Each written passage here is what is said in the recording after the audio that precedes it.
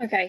Um, prima di cominciare, before we start, just a little technical um, notice for our Italian speaker um, participants. Uh, se volete la traduzione uh, real time in italiano, uh, nell'angolo destro del vostro, della vostra schermata Zoom troverete il, um, il, simbolo del mondo fondamentalmente. Se schiacciate lì trovate la traduzione in italiano real time. Ok, now we can start. So, hello everybody, uh, my name is Laura Convertino, and on behalf of Science for Democracy, the Luca Coscioni Association and Humans, I would like to thank you for joining us to celebrate the World Science Day for Peace and Development. I would also like to thank the Chiesa Valdese for allowing the interpretation into Italian. This webinar wishes to open an international conversation on human right to science, a right enshrined in the Universal Declaration of Human Rights, and that is today more important than ever before. We invite you to share the streaming from the Facebook page of Science for Democracy and on YouTube channel. We have some 250 people registered.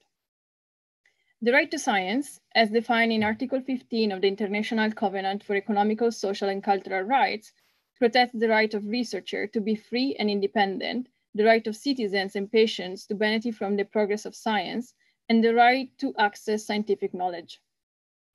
The promoters of today's discussion are committed to acting on society to make an effective change, combining activities of public engagement with rights monitoring, activism, advocacy, and training. In February of this year, thanks to the facilitation and hosting of Dr. Sarah Hagbor, African Commissioner for Research, we held the sixth meeting of the World Congress for Freedom of Scientific Research in Addis Ababa, Ethiopia. The event focused on the role of science to achieve the Sustainable Development Goals by 2030. A core part of the Congress was devoted to the discussion of the General Comment on the Right to Science, published by the Committee on Economic, Social, and Cultural Rights of the United Nations in April 2020. The document will also be discussed today as a key development in international affairs. Before leaving the microphone uh, to Marco Cappato, treasurer of Luca Coscioni Association and co-founder of Science for Democracy, I would like to introduce the video Enjoy Science that was recorded in Addis Abeba and that will accompany us in celebrating today and in launching an appeal for the human right to science. Thank you and enjoy the rest of the program.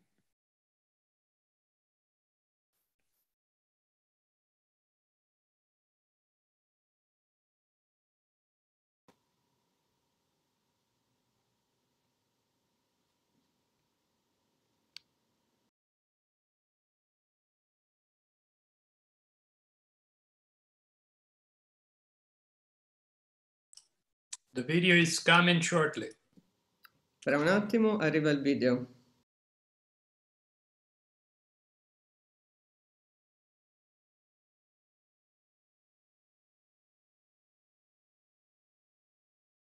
Care nazioni delle Nazioni Unite, immaginate un posto dove la potenza elettrica non è disponibile per tutti? Oggi la vera potenza viene dalla ricerca scientifica in temi come l'intelligenza artificiale e la biologia molecolare. Ora abbiamo le risorse le capacità per affrontare qualsiasi problema sul pianeta. L'unica cosa che manca è la coscienza collettiva, la volontà. Grazie alla Dichiarazione universale dei diritti umani, la vostra dichiarazione, forse dobbiamo interrompere il video perché non c'è l'audio in originale.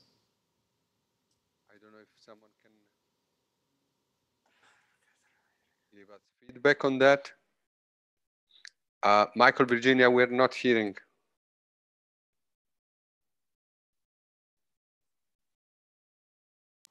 Ci scusiamo, se ne stanno occupando.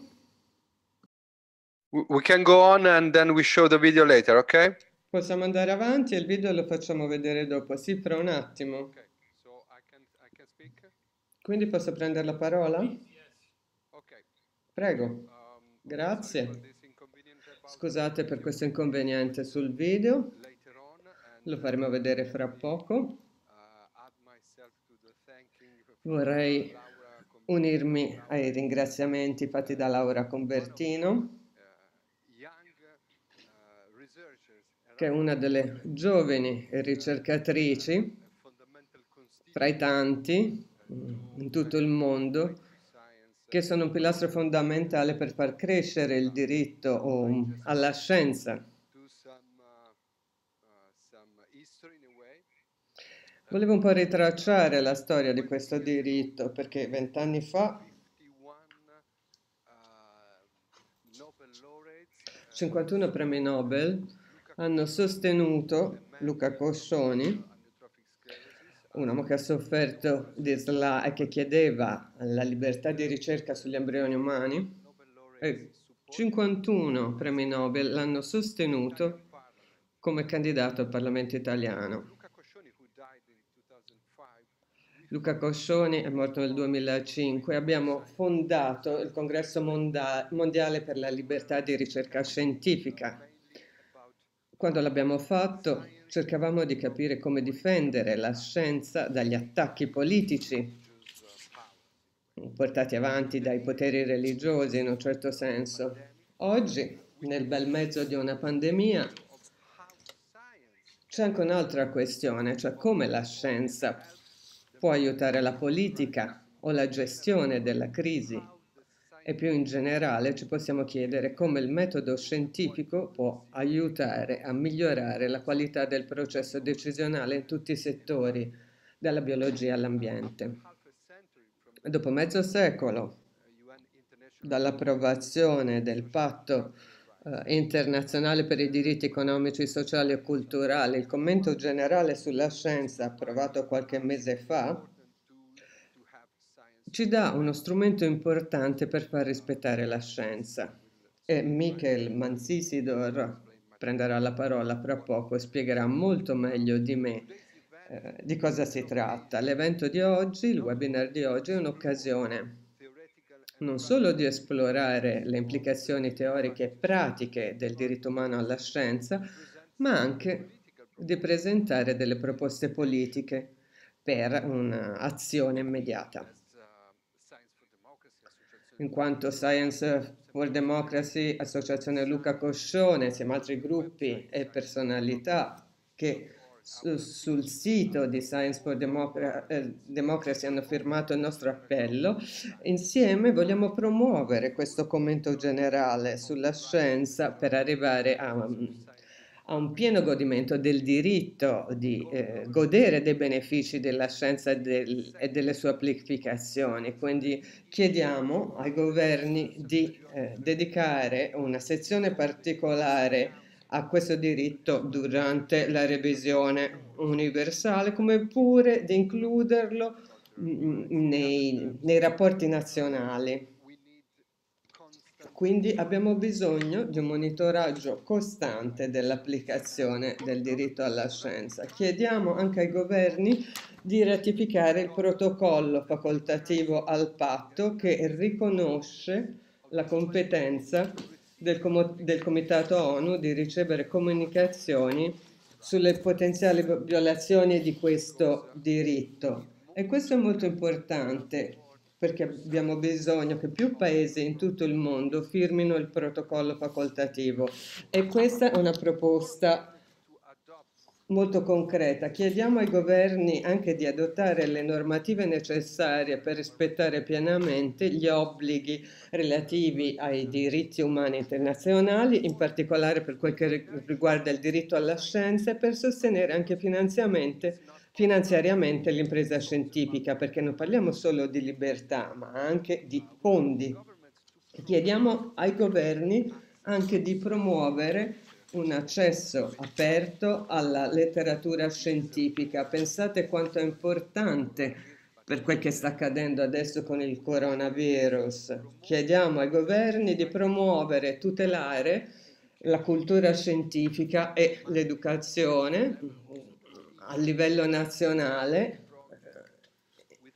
attraverso progetti di cooperazione internazionale con particolare attenzione ai paesi a basso e medio reddito.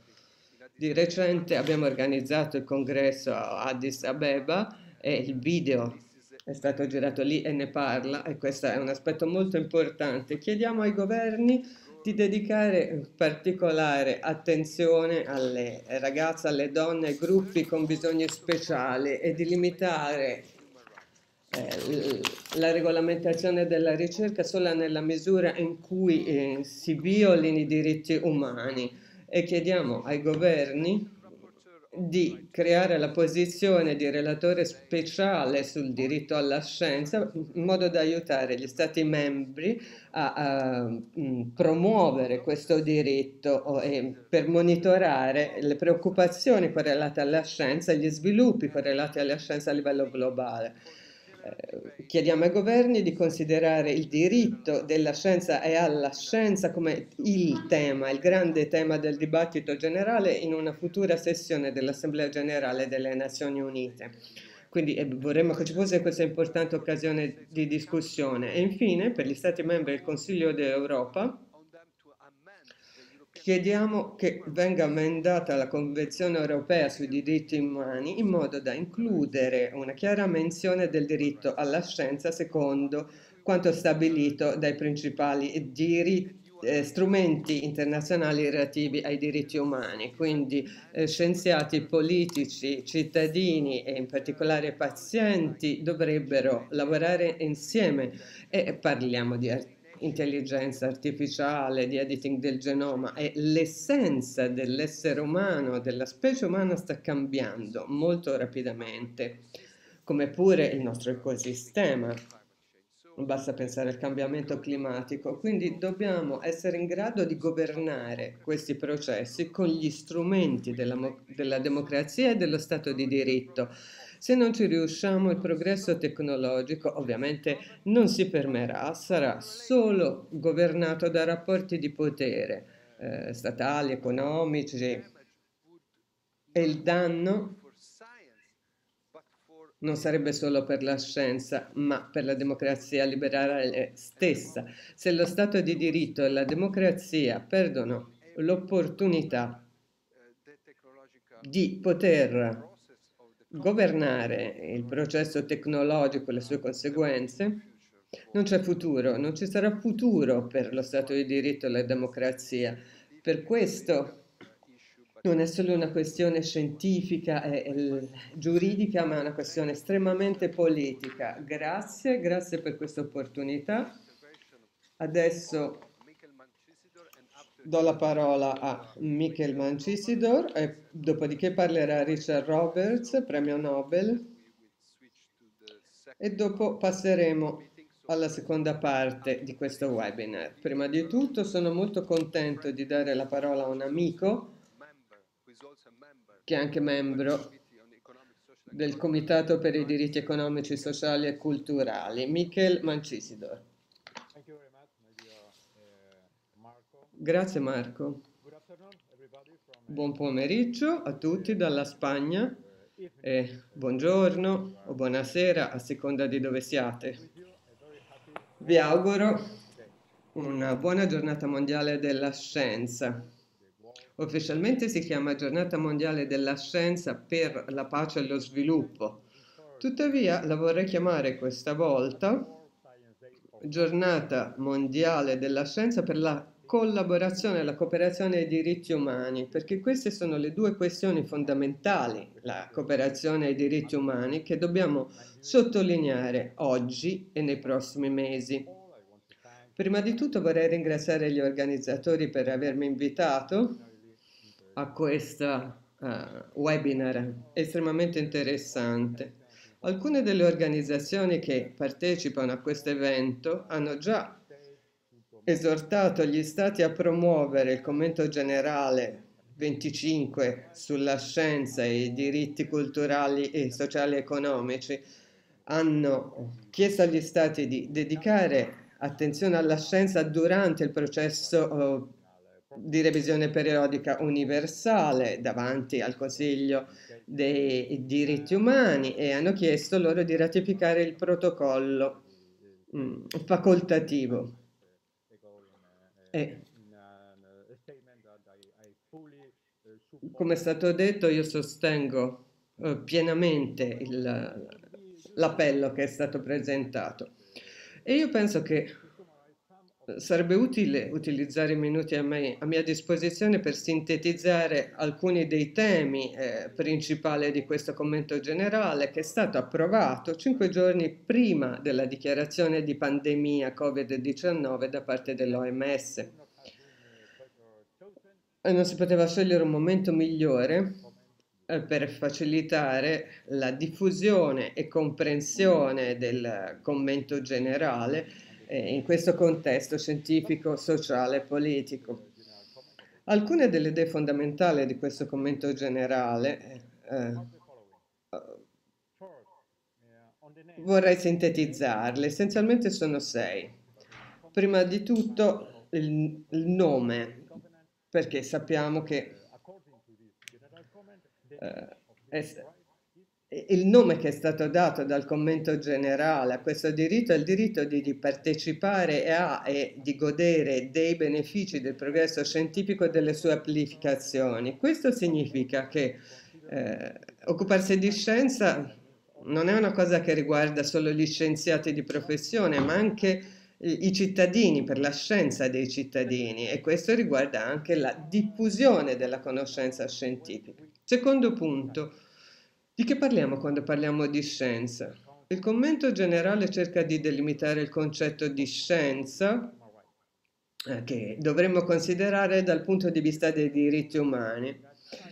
Basato sulla raccomandazione dell'UNESCO, il commento generale considera che la scienza si riferisce alle scienze naturali e sociali e anche a un processo che segue una certa metodologia e ai risultati di questo processo, cioè la conoscenza e le sue applicazioni.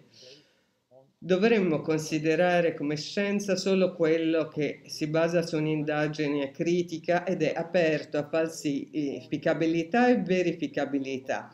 La conoscenza che è basata solo sulle tradizioni, le rivelazioni o l'autorità senza il possibile eh, scambio con la ragione e l'esperienza o che è immune a tale verifiche non può essere considerata scienza. Limitazioni, terzo punto, sono una questione fondamentale per qualsiasi diritto, ma particolarmente delicata in questo caso. In particolare se parliamo di limitazioni all'accesso ai benefici o alla libertà di ricerca. In ogni caso il commento generale ha dovuto gestire questa questione in funzione dell'articolo 4 del patto, quindi le limitazioni sono consentite eh, solo nella misura in cui sono compatibili con la natura del diritto e solo allo scopo di promuovere il benessere generale in una società democratica.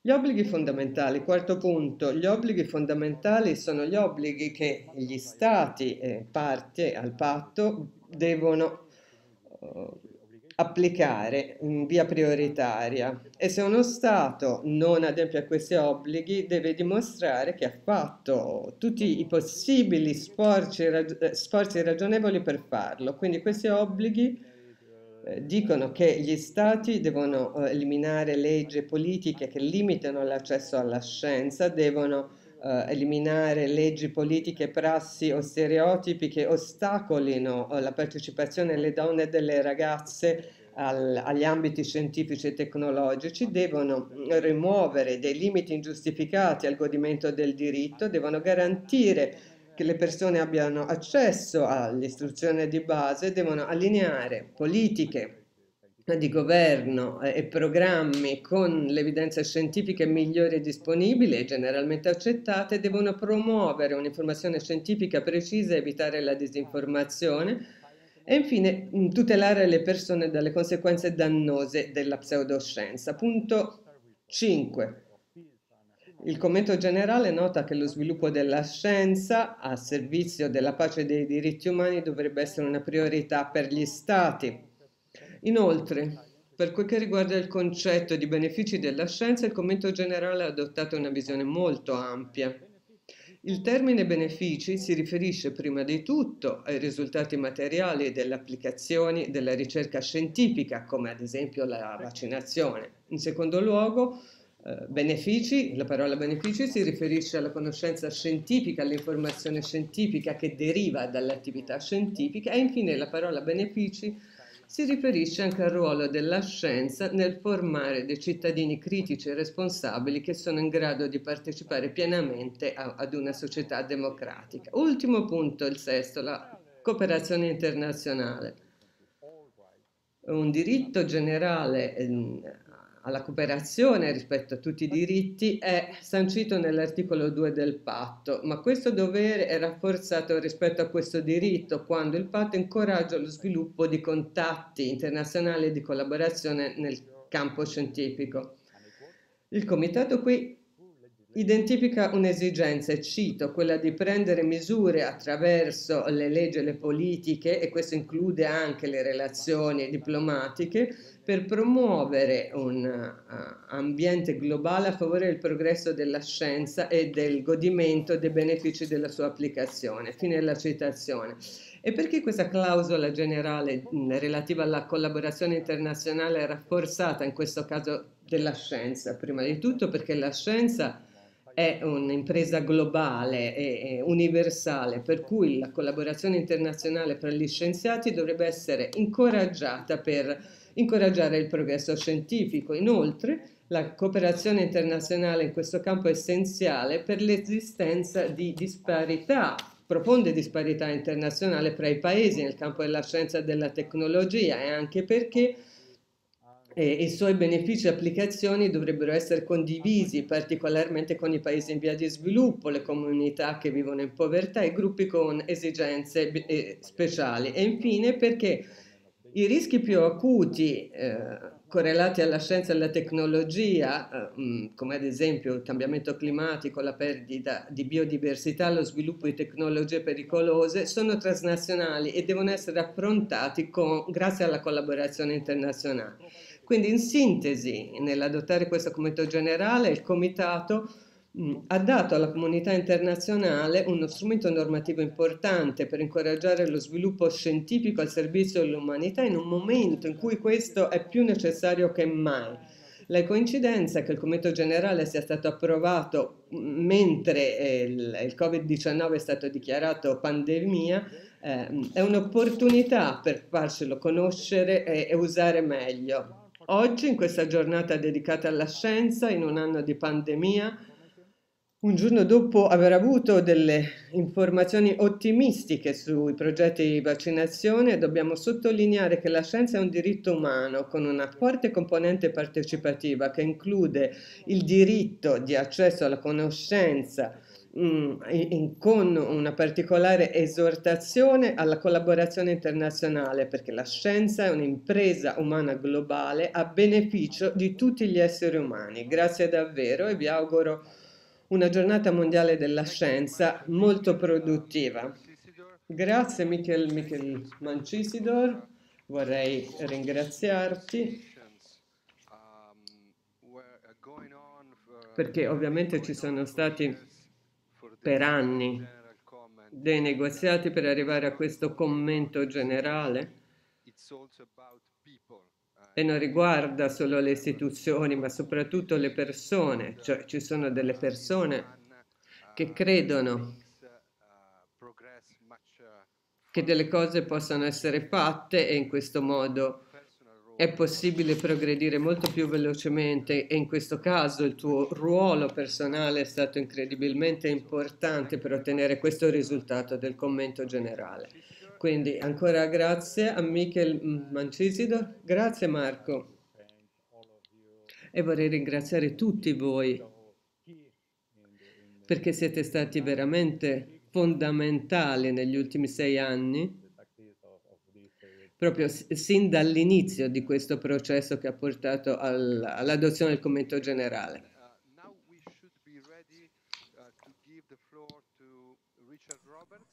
Adesso dovremmo essere pronti per dare la parola a Richard Roberts, premio Nobel per la medicina e coordinatore scientifico del New England Biolabs.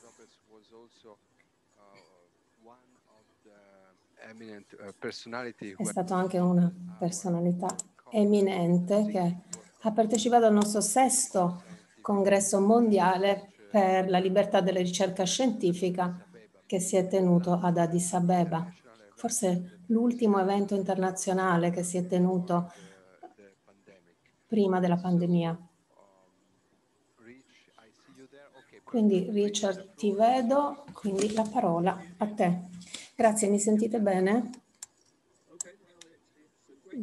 Bene, è un piacere essere qui ed è sempre un piacere celebrare la scienza. Quindi a me piace molto l'idea di una giornata mondiale della scienza e, e cade proprio bene quest'anno, perché quello che stiamo facendo è che stiamo tenendo questa conferenza proprio eh, questa giornata durante una pandemia. Molti vedono la pandemia come una cosa terribile che causa grossi problemi, che è vero, però una delle cose che ci ha dimostrato in modo chiaro è che la scienza è tanto importante, se non più importante, di qualsiasi altra cosa noi facciamo come società. Quindi, ad esempio, i paesi che seguono la scienza, paesi come la Nuova Zelanda, come la Corea del Sud, Taiwan, ebbene, hanno avuto dei risultati ottimi nella gestione della pandemia, mentre i paesi che prestano molto meno attenzione alla scienza, e qui parlo sulla base dell'esperienza personale degli Stati Uniti, dove abbiamo un presidente che forse non sa neanche pronunciare la parola scienza, ma non, non ci crede assolutamente, lì il risultato ha fatto sì che molti, molte persone nel paese screditano la scienza, non ascoltano i consigli degli scienziati. E il dottor Tony Franci, che ha, fa- devo dire, ha fatto un lavoro fantastico nel cercare di mantenere la schiena dritta nonostante l'opposizione di Trump, quindi Fauci è stato bravissimo. Inoltre, devo dire che questa pandemia ci ha mostrato anche il potere della scienza. Molti scienziati hanno cominciato a occuparsi di progetti correlati al COVID-19. Adesso abbiamo un vaccino che sembra che stia per essere accettato, è prodotto dalla Pfizer e i risultati iniziali sono molto promettenti, anche se ancora un po' presto per dirlo, ma se eh, vengono confermati questi risultati, ebbene quel vaccino sarà il primo che potrà essere disponibile e sarà dato a tutti gli operatori sanitari. E si sta utilizzando questa stessa tecnologia anche da parte di altre aziende e quindi non c'è motivo per cui non debba essere eh, tanto efficace quanto quello della Pfizer, quello che si sta preparando ad Oxford. Quindi eh, questa è una buona notizia perché il metodo per preparare questo vaccino è molto diverso rispetto al passato, è un modo nuovo di approcciarsi ai vaccini e penso che sia un sistema che possa essere utilizzato per molte altre patologie. Quindi non è che deve essere successo solo per il Covid-19, se lo sarà per il Covid-19 lo si potrà applicare anche a tante altre patologie. Ma questo ha dimostrato anche che c'è bisogno di educare il pubblico, il fatto che così tante persone che si trovano di fronte a questi problemi enormi della pandemia non capiscono la scienza, non fanno lo sforzo di capire la scienza, e piuttosto ascoltano i politici che diffondono falsità, menzogne e ignorano la scienza invece di cercarla di capire. Ebbene, in questo paese questo è successo e anche in altri paesi e noi non siamo stati bravi a educare il pubblico in modo che comprenda gli elementi fondamentali della scienza. E questo devo dire è anche un po' colpa degli scienziati perché non sono stati bravissimi nel spiegare al pubblico la scienza in modo che la comprendesse. Ci sono tanti di noi che parlano di scienza e poi cominciano a usare delle sigle, delle parole che non sono comprensibili al pubblico generale. Quindi il pubblico non capisce cosa diciamo. Molti scienziati pensano che così possono fare vedere quanto sono bravi, colti e intelligenti, invece l'opposto significa che sono stupidi, che non sono interessati a comunicare veramente con il pubblico. Ci sono tante altre opportunità per la scienza che si stanno presentando attualmente e vorrei concentrarmi un attimo su una di queste, vale a dire la disinformazione che viene fatta circolare su Facebook, sui social media, eh, su var- in varie organizzazioni. che scredita la scienza. Dicono che la, le vaccinazioni non funzionano, non vanno bene, fanno male. Eh, noi siamo in una situazione oggi in cui molte persone che dovrebbero essere vaccinate non si vorranno vaccinare, a meno che non siamo più bravi noi a sottolineare quanto invece è efficace e utile la vaccinazione. E la tragedia è che abbiamo pochi farmaci che sono fantastici davvero e che non costano molto e i vaccini sono i farmaci migliori che abbiamo mai avuto e non costano molto e prevengono le patologie e sono davvero fantastici e io non ho nessuna esitazione riguardo ai vaccini. Eh, però non siamo riusciti a far passare questo messaggio al pubblico. L'altra questione di cui voglio parlare è anche un prodotto della scienza, è, vale dire un modo migliore di coltivare le piante. Sono sicura che molti di voi in Europa, eh, soprattutto anche in Italia, molti di voi sono consapevoli del linguaggio che viene utilizzato dai politici, che viene utilizzato dai gruppi anti-OGM, utilizzati da tutti i tipi di gruppi che non vogliono accettare gli organismi geneticamente modificati, gli OGM. Questo è davvero terribile perché si basa su un errore concettuale che ha preso piede tra il pubblico, eh, da, che è stato diffuso dalle organizzazioni anti-OGM. E poi a molti politici piace dire menzogne, piace diffondere la disinformazione, piace diffondere la paura, ci sono organizzazioni come Greenpeace che hanno grande successo, questo è proprio uno degli sforzi più grandi di raccolta dei fondi che sono riusciti a fare contro gli OGM. Eppure gli OGM devono essere il futuro per chiunque si occupi di coltivare. Sappiamo già che nel caso dell'agricoltura, uh, della green business, è, è, è fondamentale, solo che Monsanto ha causato dei problemi eh, l'agribusiness non ha beneficiato degli OGM come i piccoli coltivatori, per esempio. Ci sono tante cose che possiamo fare per aumentare, accelerare la velocità di coltivazione di nuove piante e gli OGM è uno dei metodi, di solito affinché una riproduzione avvenga ci vogliono 20 anni, con gli OGM spesso si può fare in 2-3 anni.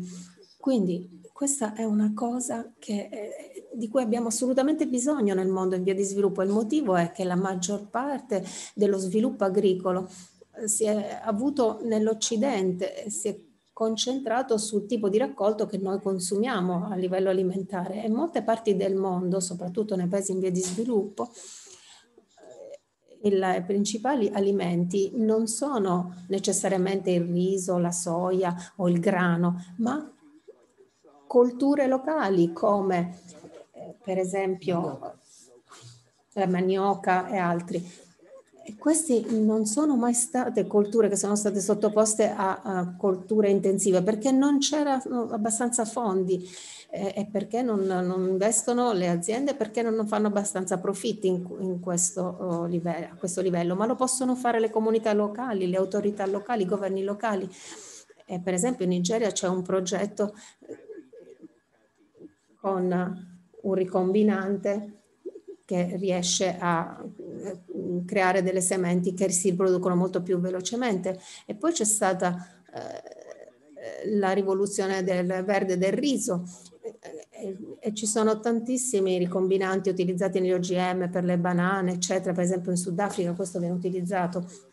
Quindi è un'area in cui abbiamo bisogno di essere certi che nell'ordine del giorno politico e in quello finanziario anche delle agenzie europee, non bisogna eliminare la diffusione di queste tecnologie perché è assolutamente necessario nel mondo in via di sviluppo ah, e dobbiamo fare in modo che le ricevano queste tecnologie in Europa è molto facile dire beh non le vogliamo e poi diciamo per motivi politici che sono pericolosi. Ebbene questo è un messaggio che non aiuta il mondo in via di sviluppo.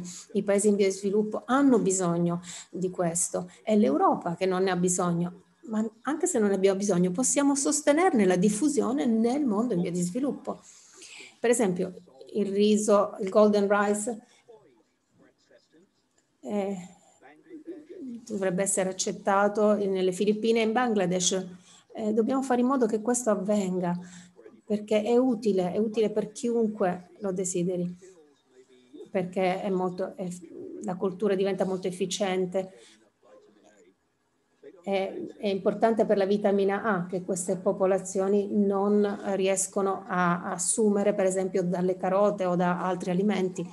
Quindi il golden rice eh, fornisce abbastanza vitamina A alla popolazione affinché sopravviva e può, può essere e quindi dobbiamo essere anche tutti noi a stare attenti a dire la verità al pub, pubblico sui vaccini, non dobbiamo dire cose che non sappiamo, ma quello che sappiamo lo dobbiamo dire con forza e con, ling- con un linguaggio che il pubblico comprende, perché questo eh, che conta per la scienza. Eh, la giornata mondiale della scienza dovrebbe essere proprio questa, sì, possiamo andare in strada e fare manifestazioni, ma cerchiamo di far passare di più la scienza, soprattutto di influenzare di più con la scienza le scelte politiche.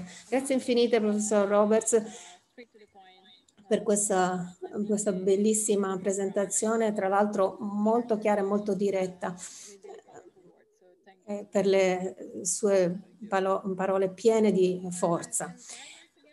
Allora, vorrei provare di nuovo a farvi vedere il video.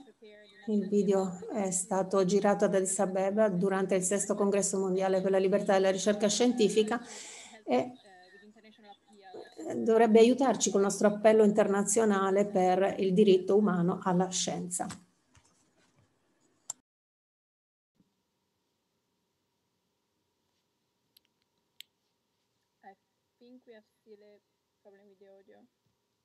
Abbiamo ancora un problema di audio.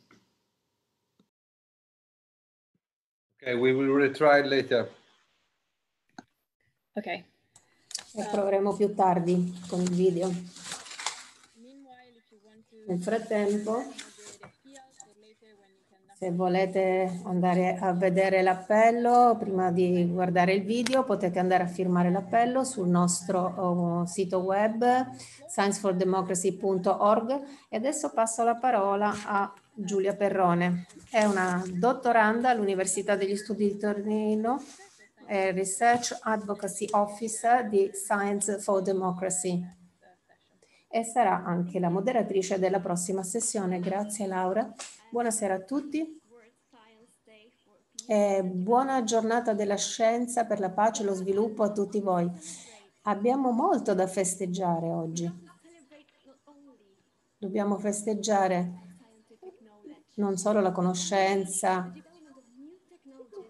relativa allo sviluppo, ma anche delle nuove tecnologie eh, che hanno un impatto sulla nostra vita, sulla nostra salute, sui diritti umani. Dobbiamo anche festeggiare il collegamento tra la scienza, la pace e lo sviluppo.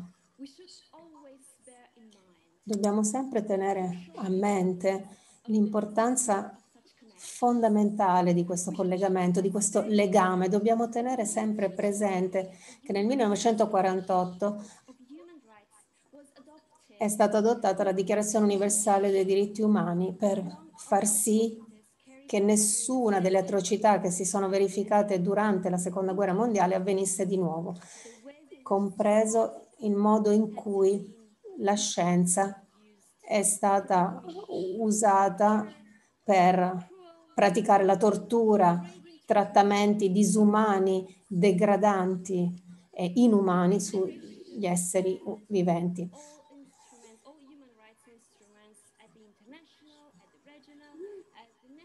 Quindi abbiamo strumenti adesso per i diritti umani a livello internazionale, nazionali e regionali, in cui eh, si parla della scienza, sono stati adottati proprio per far sì che la scienza venga utilizzata per migliorare la nostra vita, la qualità della nostra vita, a beneficio dell'umanità, per l'eliminazione progressiva delle disuguaglianze in tutto il mondo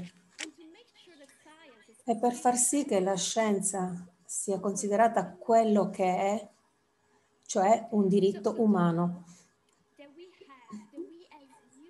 Quindi noi come esseri umani abbiamo il diritto alla scienza. Siamo titolari di questo diritto, Ma che cosa possiamo fare con questo diritto? Cosa possiamo fare col diritto alla scienza?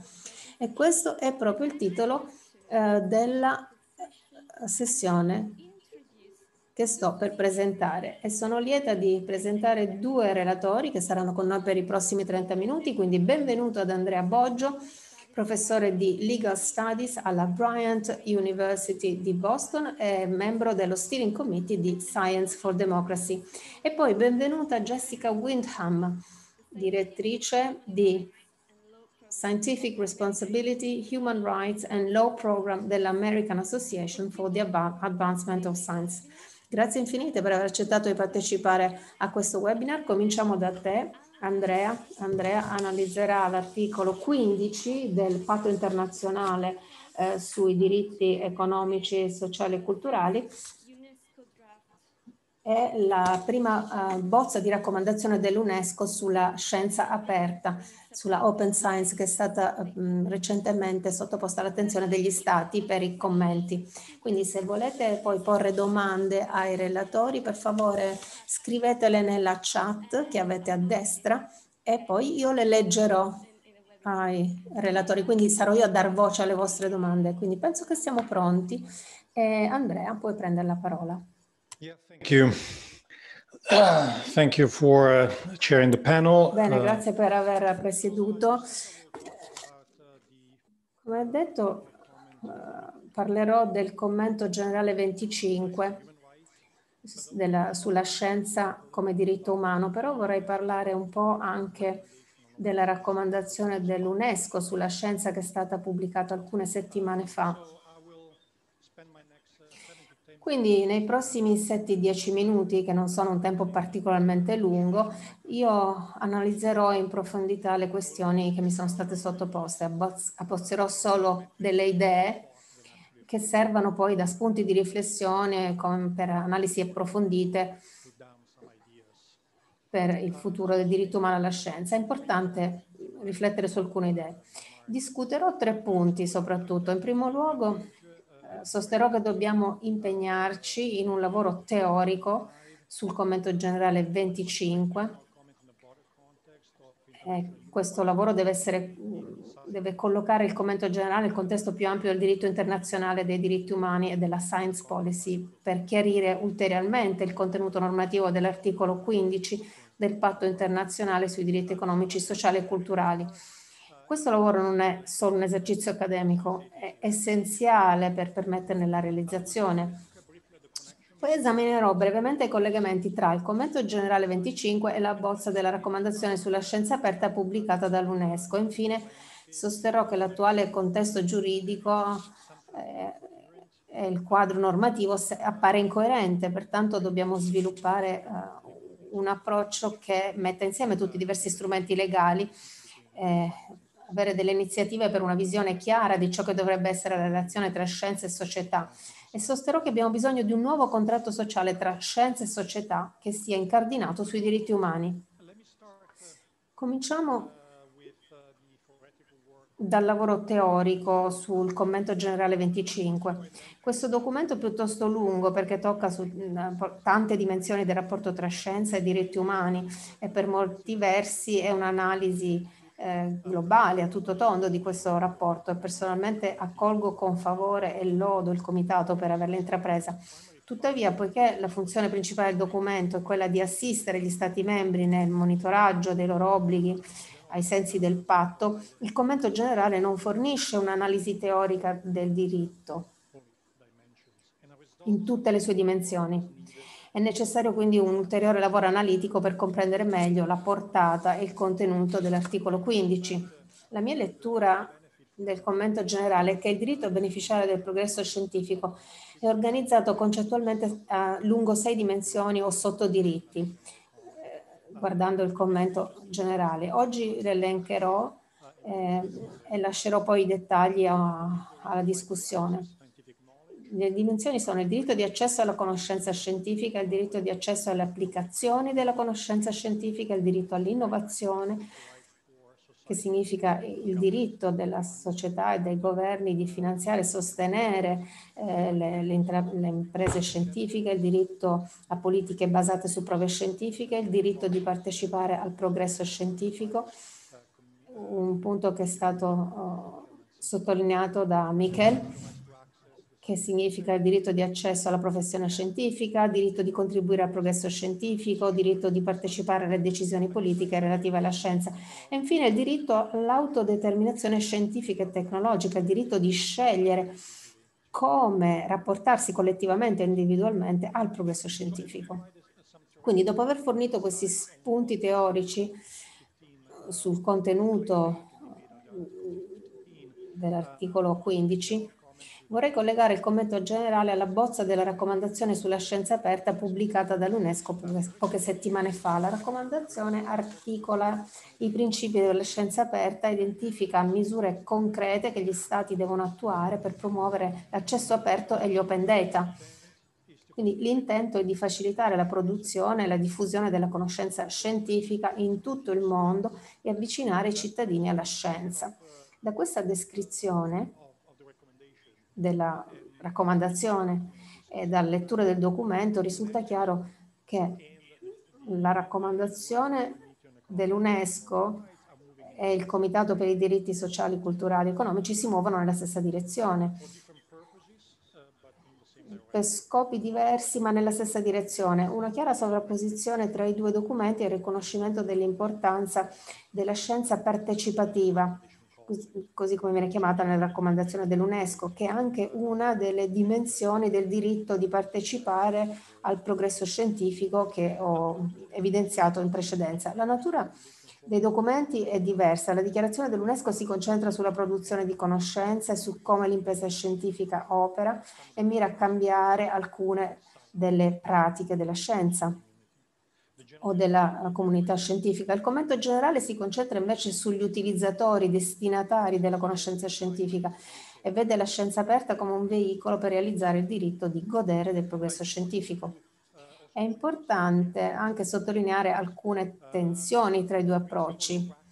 Eh, I principi e le pratiche della scienza aperta raccomandati dall'UNESCO non sono, secondo il commento generale, l'unico modo per realizzare l'articolo 15. Mi sembra che il commento generale riconosca un ruolo legittimo per la scienza non aperta, un ruolo che è compatibile con la legge sui diritti umani, con la norme, normativa sui diritti umani. In altre parole, la scienza aperta non è l'unica via per la fruizione del progresso scientifico. Un altro punto da considerare è che molte delle azioni che la raccomandazione UNESCO richiede agli Stati tendono ad essere azioni che vanno oltre gli obblighi fondamentali definiti nel commento generale, eh, come è stato illustrato in precedenza da Michel. È utile notare che alcuni obblighi fondamentali eh, che supportano la, la scienza aperta e lo cito al paragrafo 52, sono eliminare le leggi, le politiche e le pratiche che limitano eh, l'accesso in modo ingiustificato da parte di individui o gruppi particolari a strutture, servizi, beni e informazioni relative alla scienza. Poi sviluppare una legge quadro partecipativa su questo diritto, senza imporre restrizioni sulla circolazione di idee, persone e conoscenza.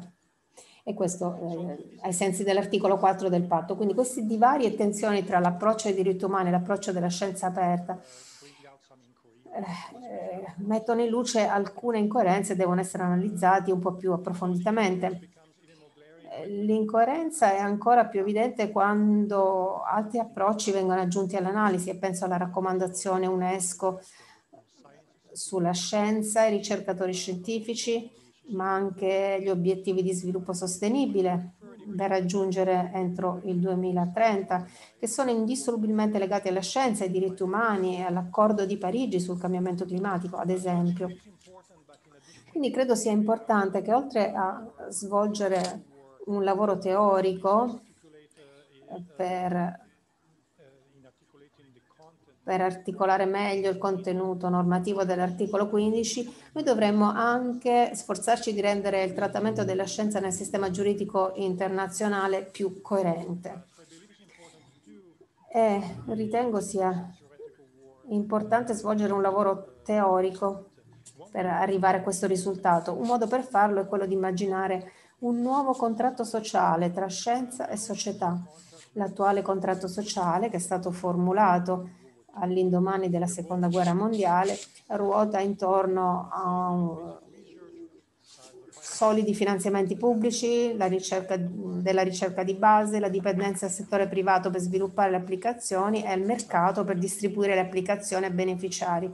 Gli strumenti che ho esaminato invece puntano in una direzione diversa in cui attori pubblici e privati collaborano in tutte le fasi della produzione di conoscenza, in cui gli obiettivi della scienza sono più esplicitamente orientati a intervenire sui problemi sociali, sociali irrisolti e in cui i benefici sono condivisi in modo efficiente ed equo in tutto il mondo e tra tutti i segmenti della popolazione. Credo che le basi del nuovo contratto sociale stiano emergendo dal lavoro del Comitato per i diritti economici, sociali e culturali dell'UNESCO e di altre organizzazioni internazionali. Gli standard imposti dai diritti umani sono la pietra angolare di questo contratto sociale e solo quando questi standard saranno pienamente raggiunti potremo dire che la scienza sia veramente un bene pubblico al servizio di tutte le persone. Grazie.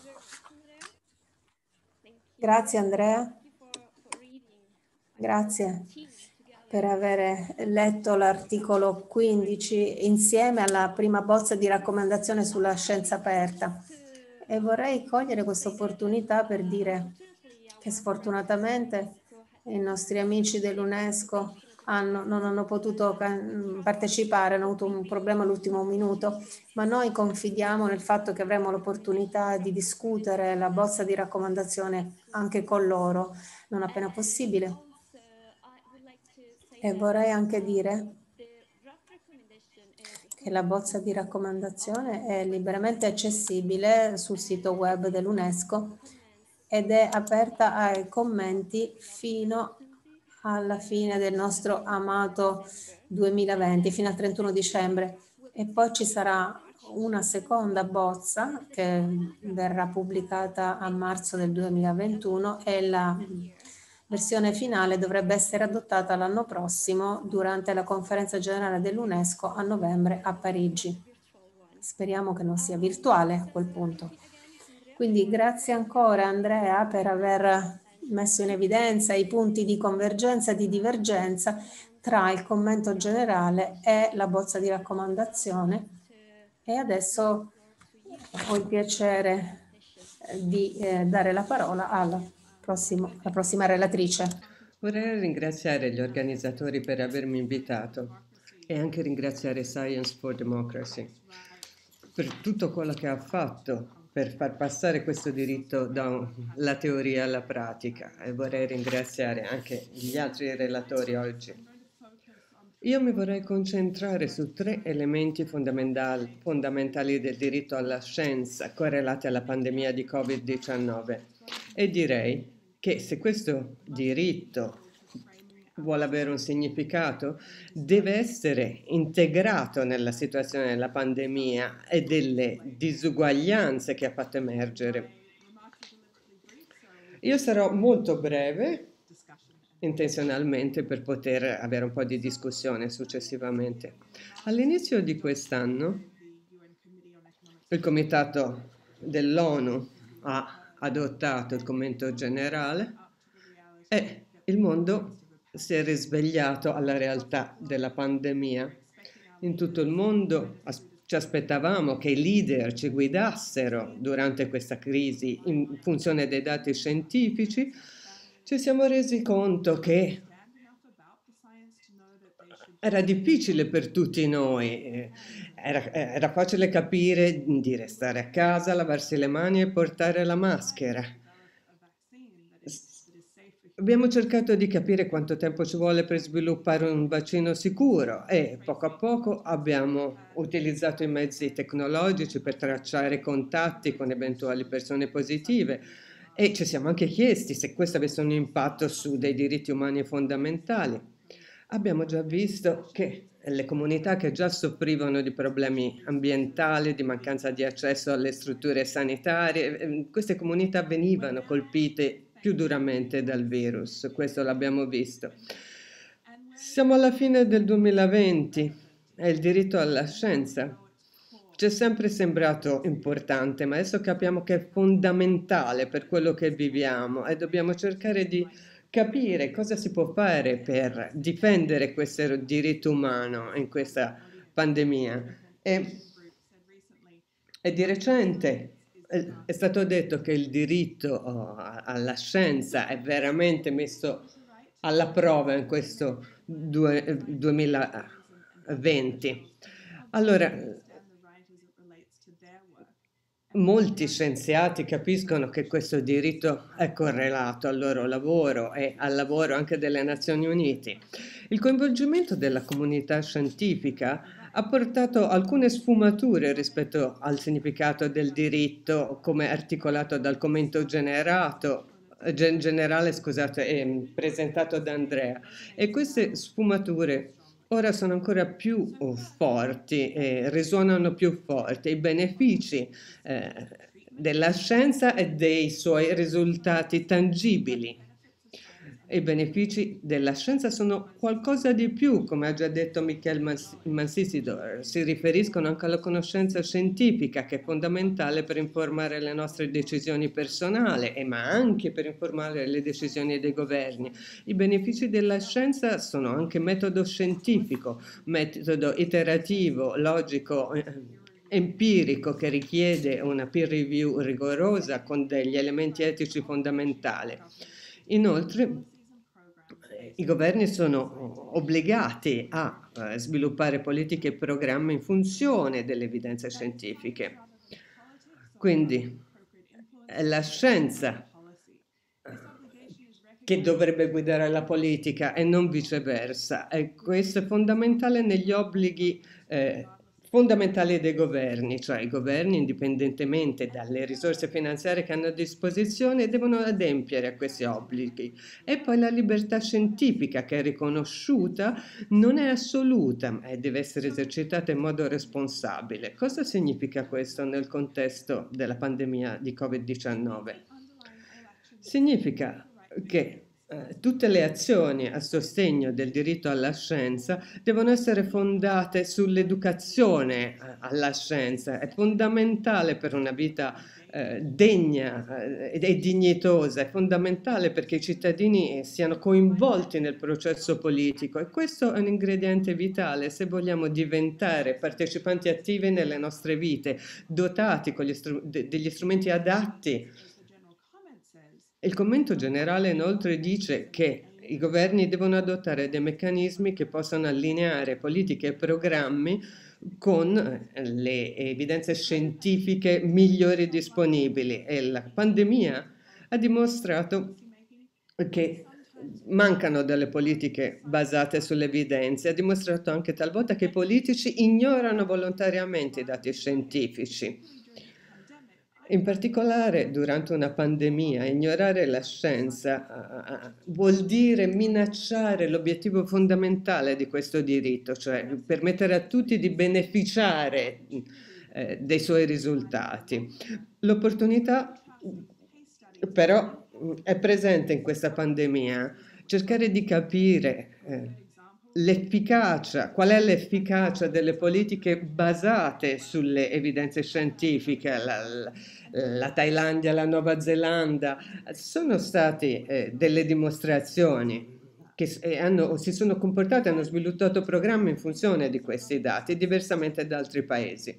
Inoltre, la comunità scientifica, il diritto alla scienza, come articolato dal patto internazionale per i diritti economici, sociali e culturali, è molto importante correlato alla libertà di ricerca scientifica. Ma qual è la responsabilità della scienza?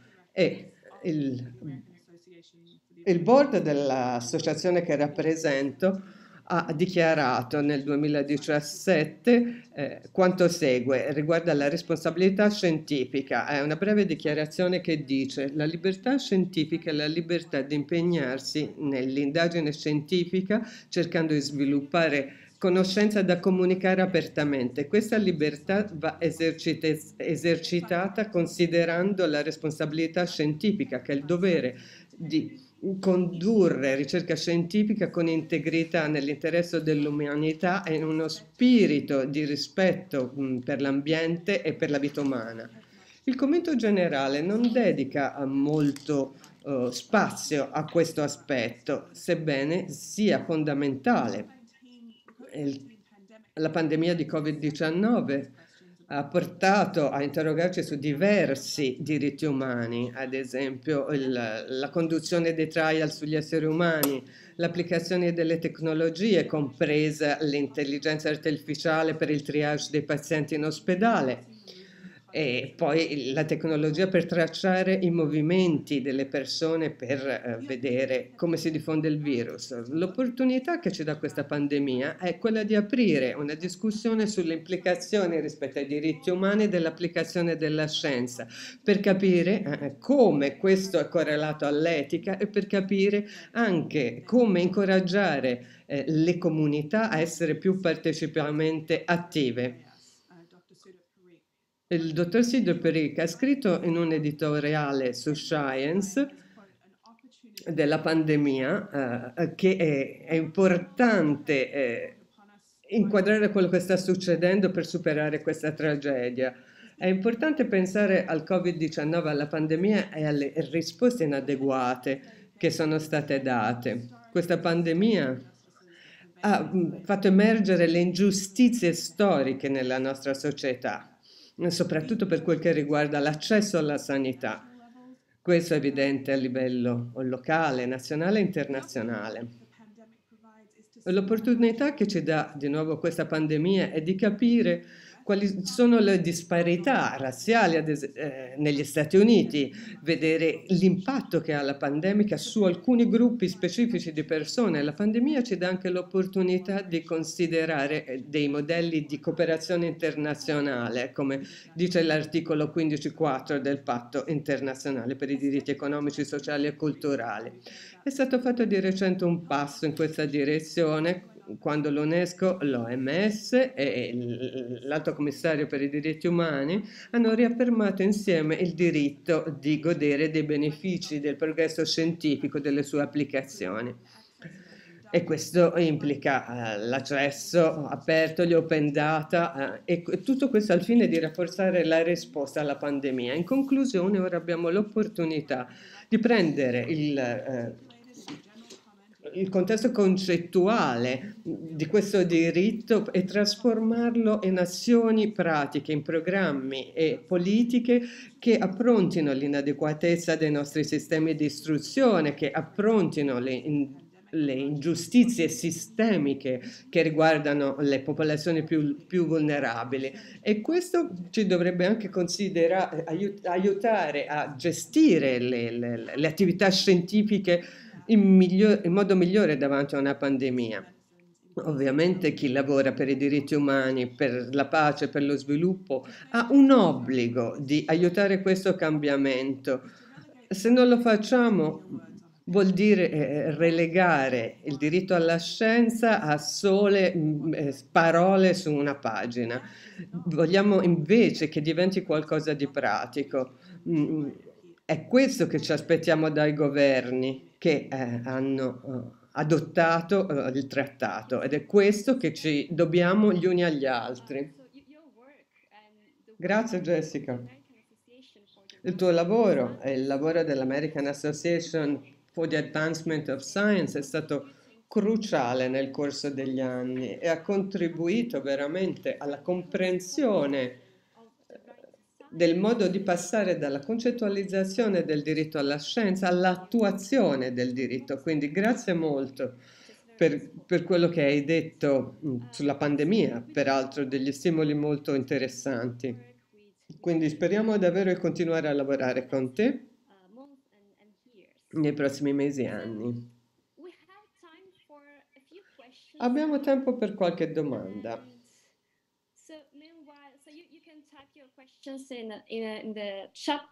Potete scrivere le domande sulla chat. Io vedo una domanda per Richard Roberts.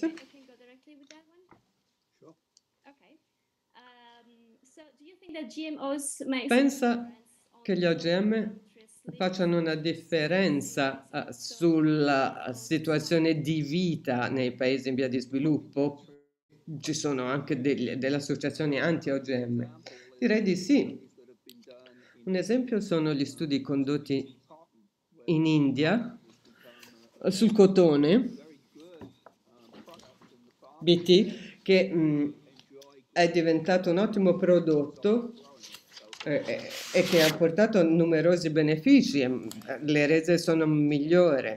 Eh, stessa cosa in Bangladesh, c'erano numerosi problemi con le piante di melanzane soggette a, inset a insetti nocivi.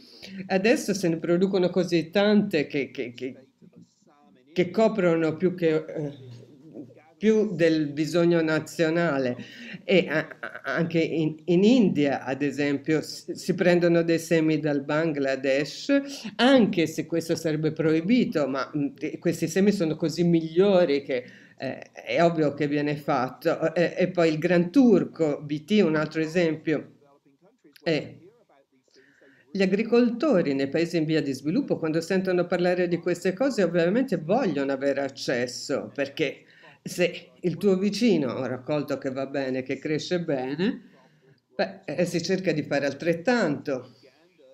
In Uganda ci sono eh, delle banane che sono resistenti e la ricerca ha dimostrato che crescono molto bene, sono resistenti.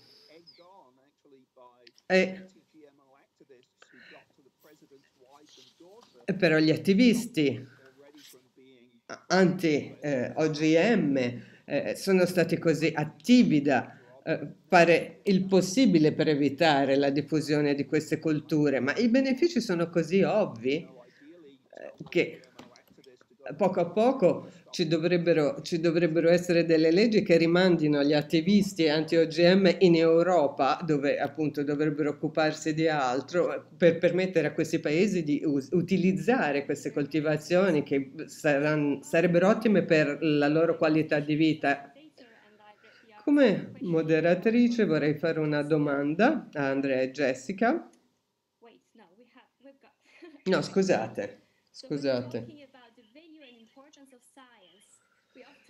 L'importanza della scienza. Spesso non parliamo di esempi dalla vita reale che dicono che la scienza è fondamentale per il futuro dell'umanità. Questo era un commento. Grazie. Adesso vado avanti con la mia domanda. Per voi due? Ma è una domanda aperta.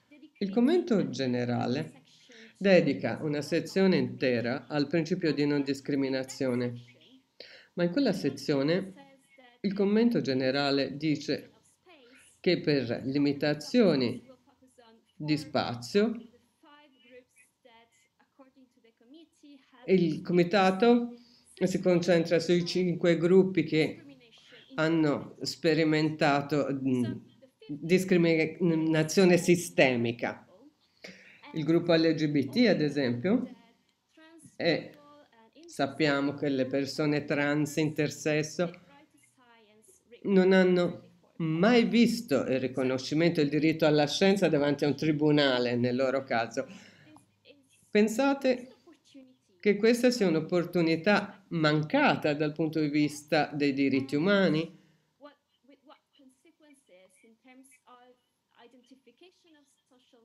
E che conseguenze può avere con l'individuazione dei bisogni sociali correlati alla scienza e all'applicazione della scienza.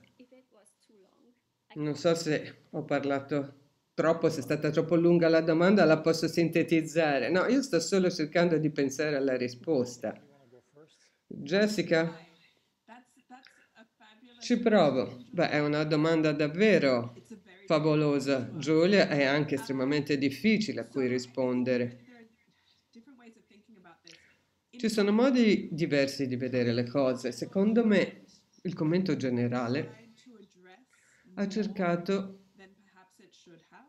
di affrontare più di quanto forse avrebbe dovuto. E questo è stato dimostrato dal tuo commento. Ci sono così tante connessioni che ha il diritto alla scienza con altri diritti umani e delle popolazioni emarginate. Detto questo, il comitato ha scelto la strada di cercare di affrontare tutto questo più possibile e in un certo senso si è persa un'opportunità. Un aspetto di cui hai parlato,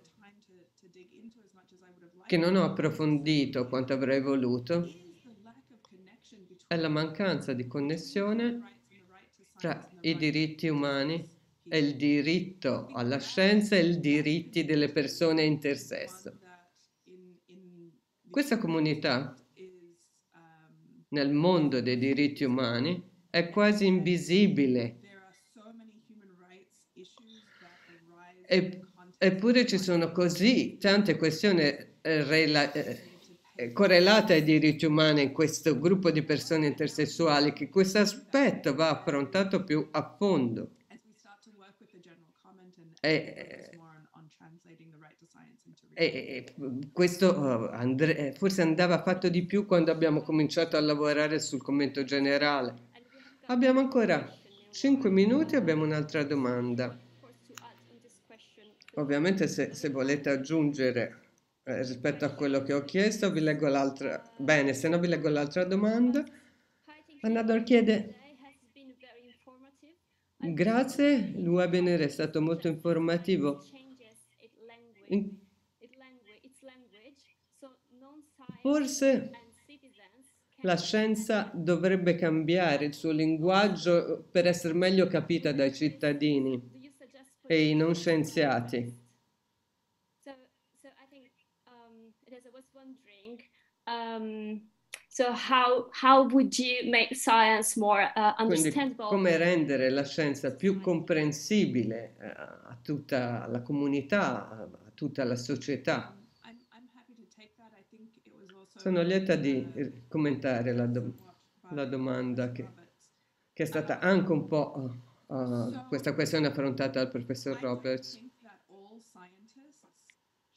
Non penso che tutti gli scienziati debbano essere comunicatori eh, con il pubblico, però credo che bisognerebbe creare delle opportunità e per gli scienziati che si occupano di comunicazione, anche un riconoscimento gli va dato, perché è di grande importanza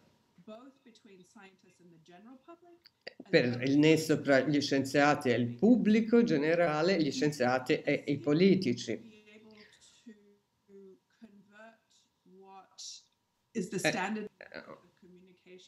È una vera competenza, una vera capacità eh, riuscire a eh, trasformare i metodi scientifici, i risultati scientifici in qualcosa di chiaro per il pubblico.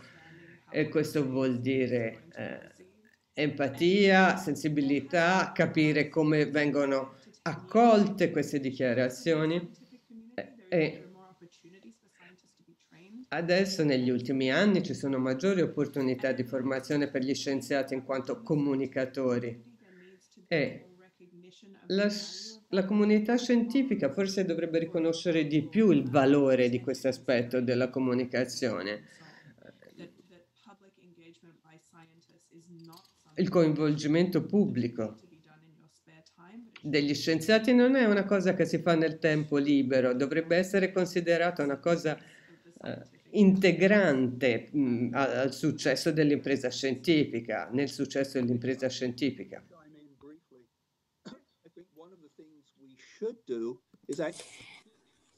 Credo che una delle cose che dovremmo fare è insegnare agli scienziati come parlare all'opinione pubblica, eh, i politici, ma anche tutti gli altri, il pubblico in generale. Eh, di solito se si presentano bene le informazioni ti ascoltano, i politici no. Ma io sono cresciuto nel Regno Unito e quando andavo a scuola ci chiedevano di fare delle presentazioni su varie cose di fronte alla classe e ci è stato insegnato come parlare in pubblico. Questa è una cosa che eh, andrebbe chiesta a tante persone. Io di solito ai miei studenti gli dico ora fai il test della nonna, cioè puoi andare a raccontare a tua nonna in modo che lo capisca cosa fa in laboratorio ogni giorno, ma farlo in modo tale che possa ripeterlo alle sue amiche e raccontare che bravo scienziato tu sei. E significa dare sì dettagli, ma in parole comprensibili. A me piace parlare ai bambini. Io vado, l'altro giorno sono stato in una scuola a parlare ai bambini di 12 anni. Eh, mi hanno ascoltato in modo fantastico. E una cosa che ho imparato è che mi hanno detto che era la prima volta che si sono sentiti rivolgere la parola come se fossero degli adulti. Questa è una cosa che dobbiamo capire e apprendere perché i bambini sono intelligenti, dobbiamo parlare con loro come parliamo alle persone, come parliamo degli adulti raziocinanti.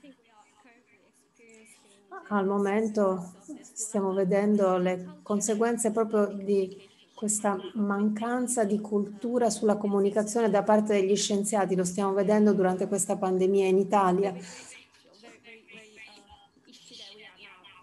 È, è proprio il problema del momento, lo stiamo vivendo sulla nostra pelle.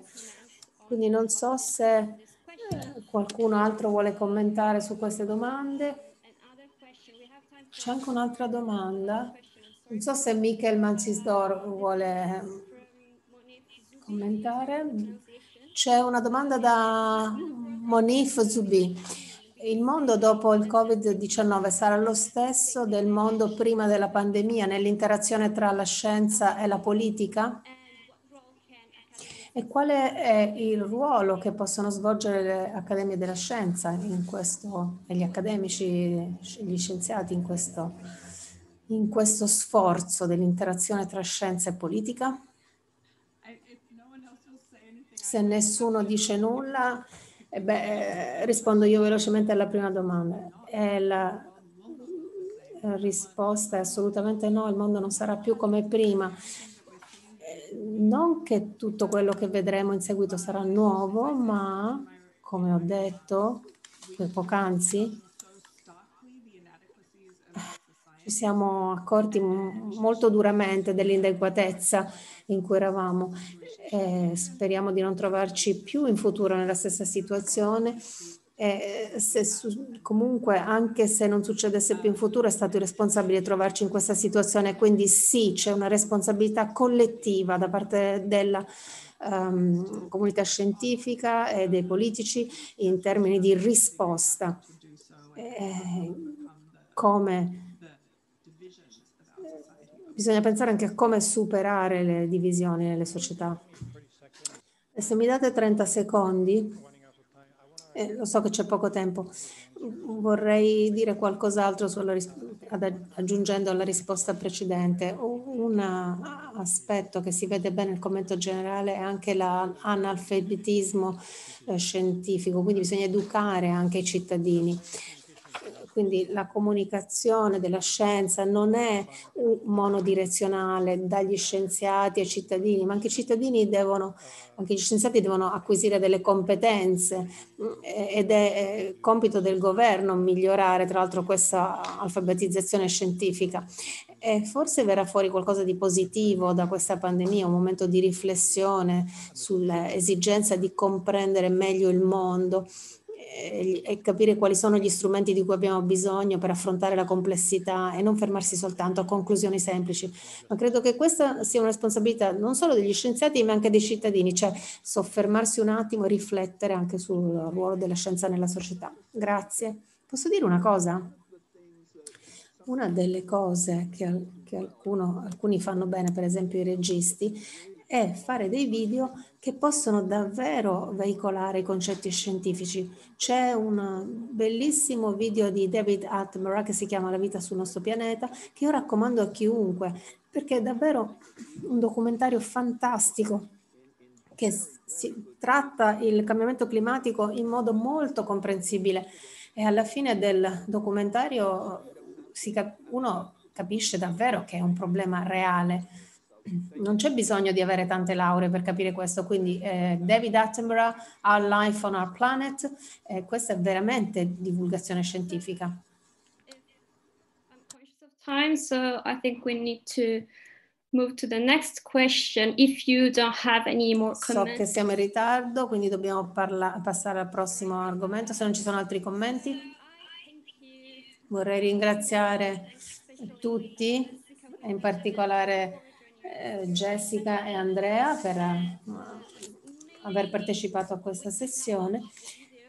E forse ora possiamo lanciare il video? Almeno ci proviamo. È pronto? 3, 2, 3, 2, 1.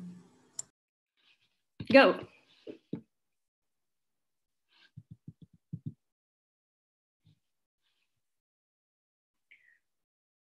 Almost ready.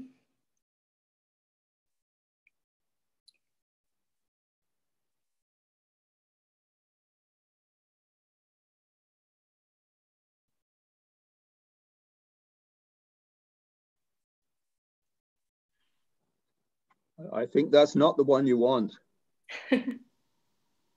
that's better. There's no voice. Audio. This is a l'audio? È una tecnica di Michael per tenere desta l'attenzione. Così siamo tutti curiosi, per far aumentare la curiosità.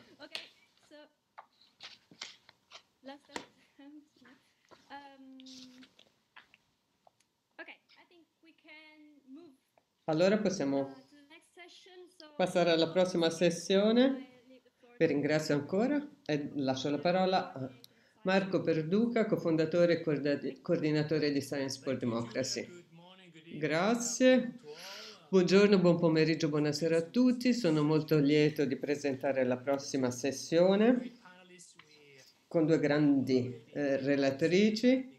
Le abbiamo incontrate alla Commissione dell'Unione Africana a Addis Abeba, Margaret Karambu, direttrice dell'ISA Afri Center, presidente dell'Open Forum on Agricultural Biotechnology e Gada El Kama, professoressa di genetica clinica e coordinatrice del Hereditary Blood Disorders and Genodermatosis Clinics and Research Teams, Human Genetics and Genome Research Division, Centro di Ricerche Nazionali Cairo.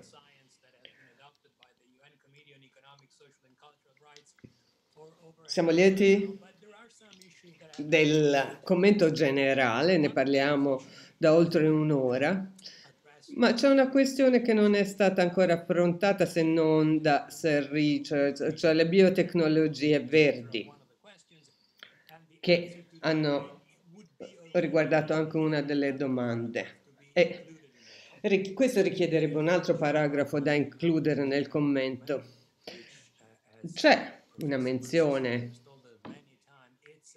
alle biotecnologie, eh, ma come ci ha detto Michel Manzisidor, eh, è un compromesso questo commento, quindi. Ma quando parliamo di scienza dobbiamo considerare per prima cosa la scienza e poi considerare tutti gli altri elementi culturali che ne derivano e forse possiamo ritornare a alcuna delle questioni come libertà di ricerca, la- l'etica e l'utilizzo oh, di alcuni strumenti per promuovere la scienza, l'inclusione delle questioni che sono rimaste al di fuori dal commento generale. Forse non è possibile tecnicamente, ma deve essere possibile politicamente. Queste questioni vanno incluse nelle preoccupazioni di coloro che hanno promosso e protetto la preparazione del commento generale e che hanno dedicato del tempo alla diffusione del diritto alla scienza che ora è rispettato a livello internazionale.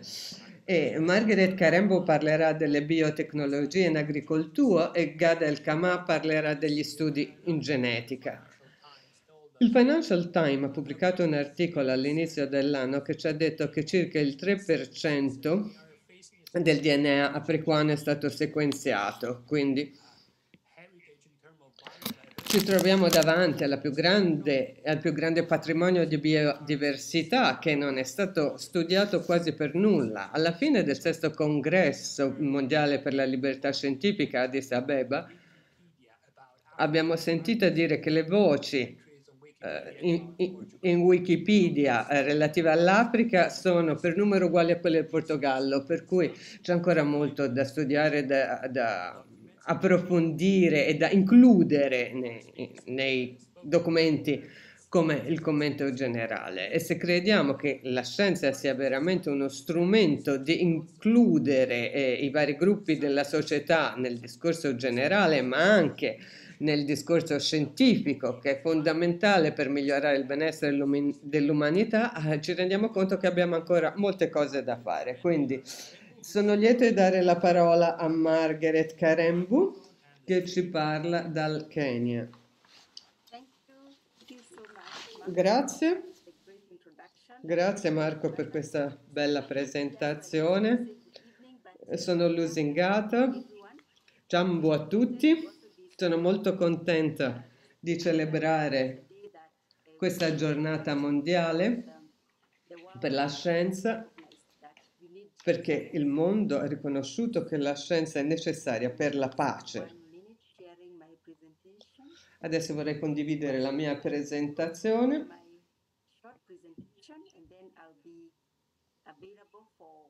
Sarà una breve presentazione e poi sarò a disposizione per le domande. È stato un vero piacere ascoltare le altre presentazioni e parlerei di un tema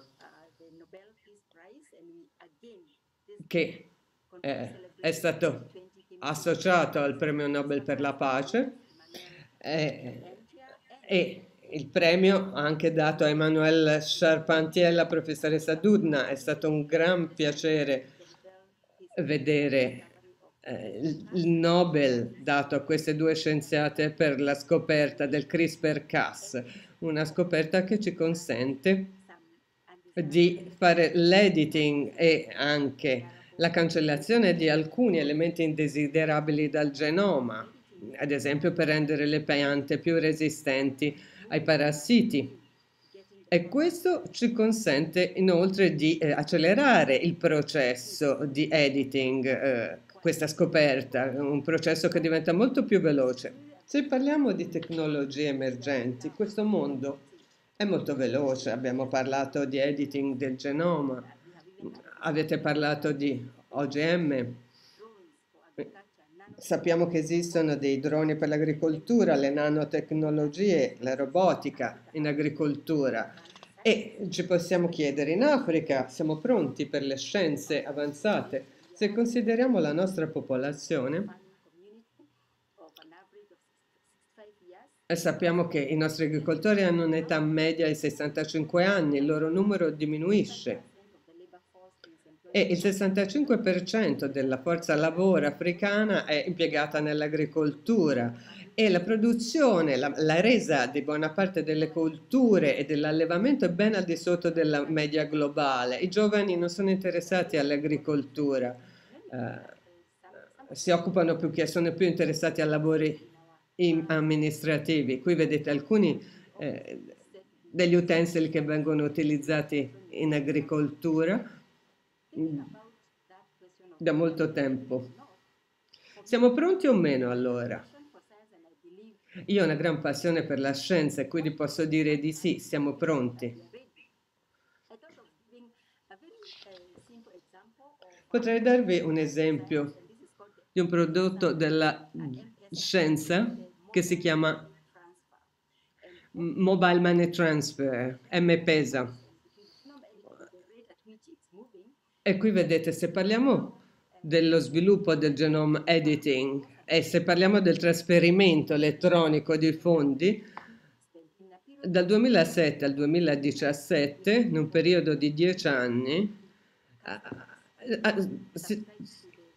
42 milioni di clienti hanno utilizzato il sistema M-Pesa per 11 miliardi di transazioni, quindi più di 500 operazioni per secondo.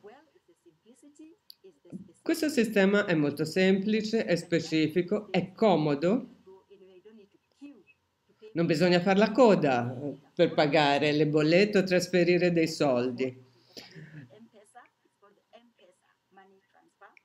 È un sistema di trasferimento appunto dei soldi che si chiama M-Pesa e in Kenya si possono trasferire i soldi o pagare i conti eh, a distanza senza nessun problema. Eh, non bisogna chiedere a qualcuno di prendere l'autobus per portare i soldi a tua mamma o tua nonna da un'altra parte. E nessuno poteva immaginare che questo sistema di pagamento si diffondesse così. E il fatto che ha dei vantaggi enormi dal punto di vista tecnologico, è un sistema adattabile, economico ed efficiente.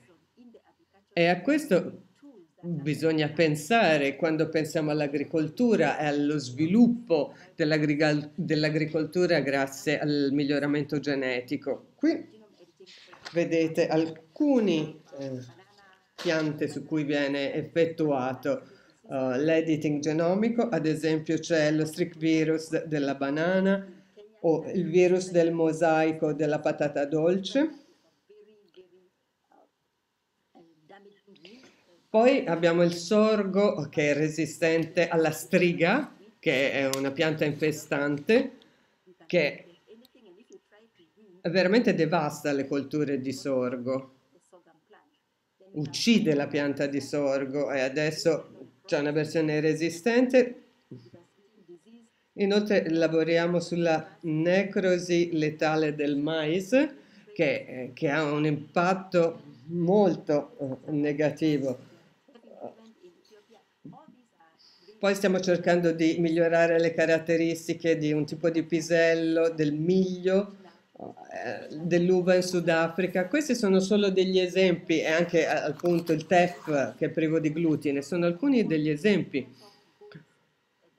E, e questo eh, diciamo, riguarda non solo le piante ma anche il, il, il bestiame, i bovini, il pollame e i caprini. Abbiamo dei progetti a riguardo con il settore privato.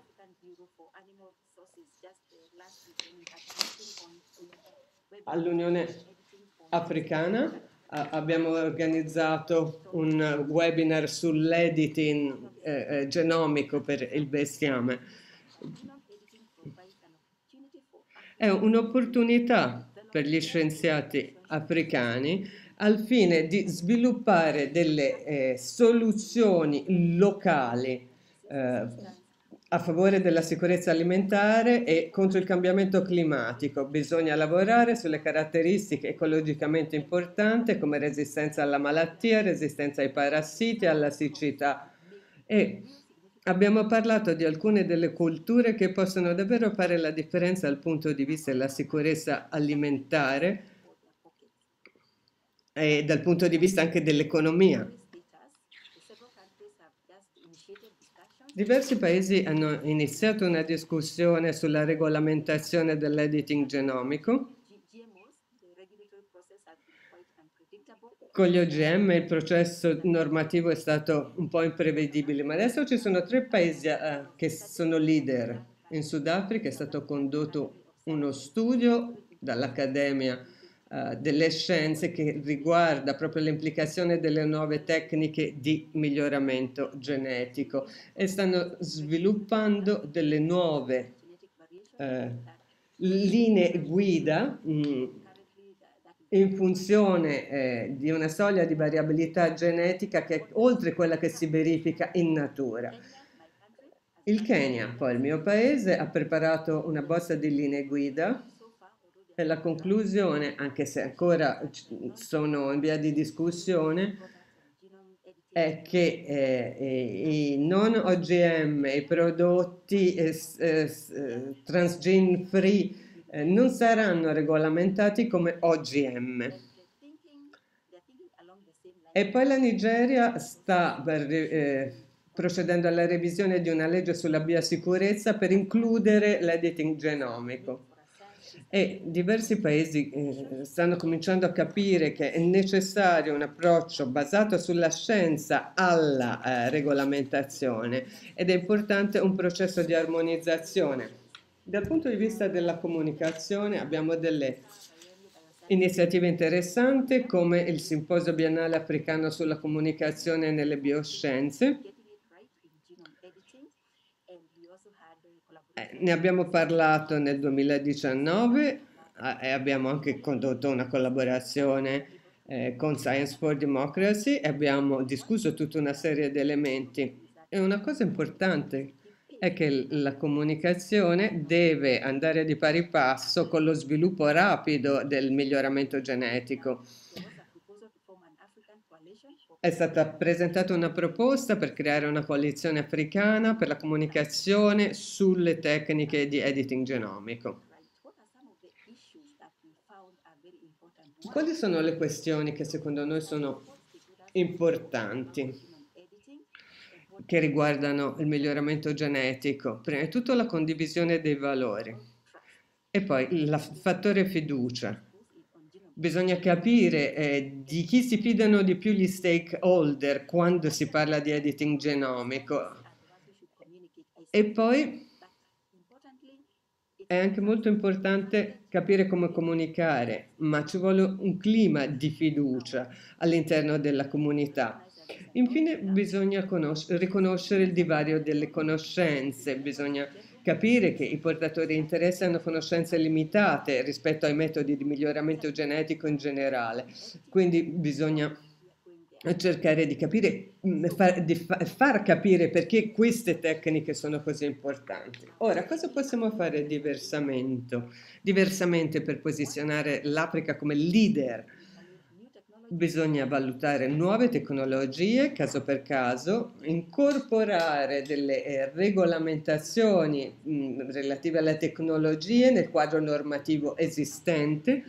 Dobbiamo adottare un approccio multidisciplinare a livello di politiche perché queste tecnologie possono essere applicate nell'agricoltura, eh, per l'ambiente, nella sanità e anche nell'industria Inoltre bisogna evitare di creare delle istituzioni regolatorie ogni volta che c'è una nuova tecnologia.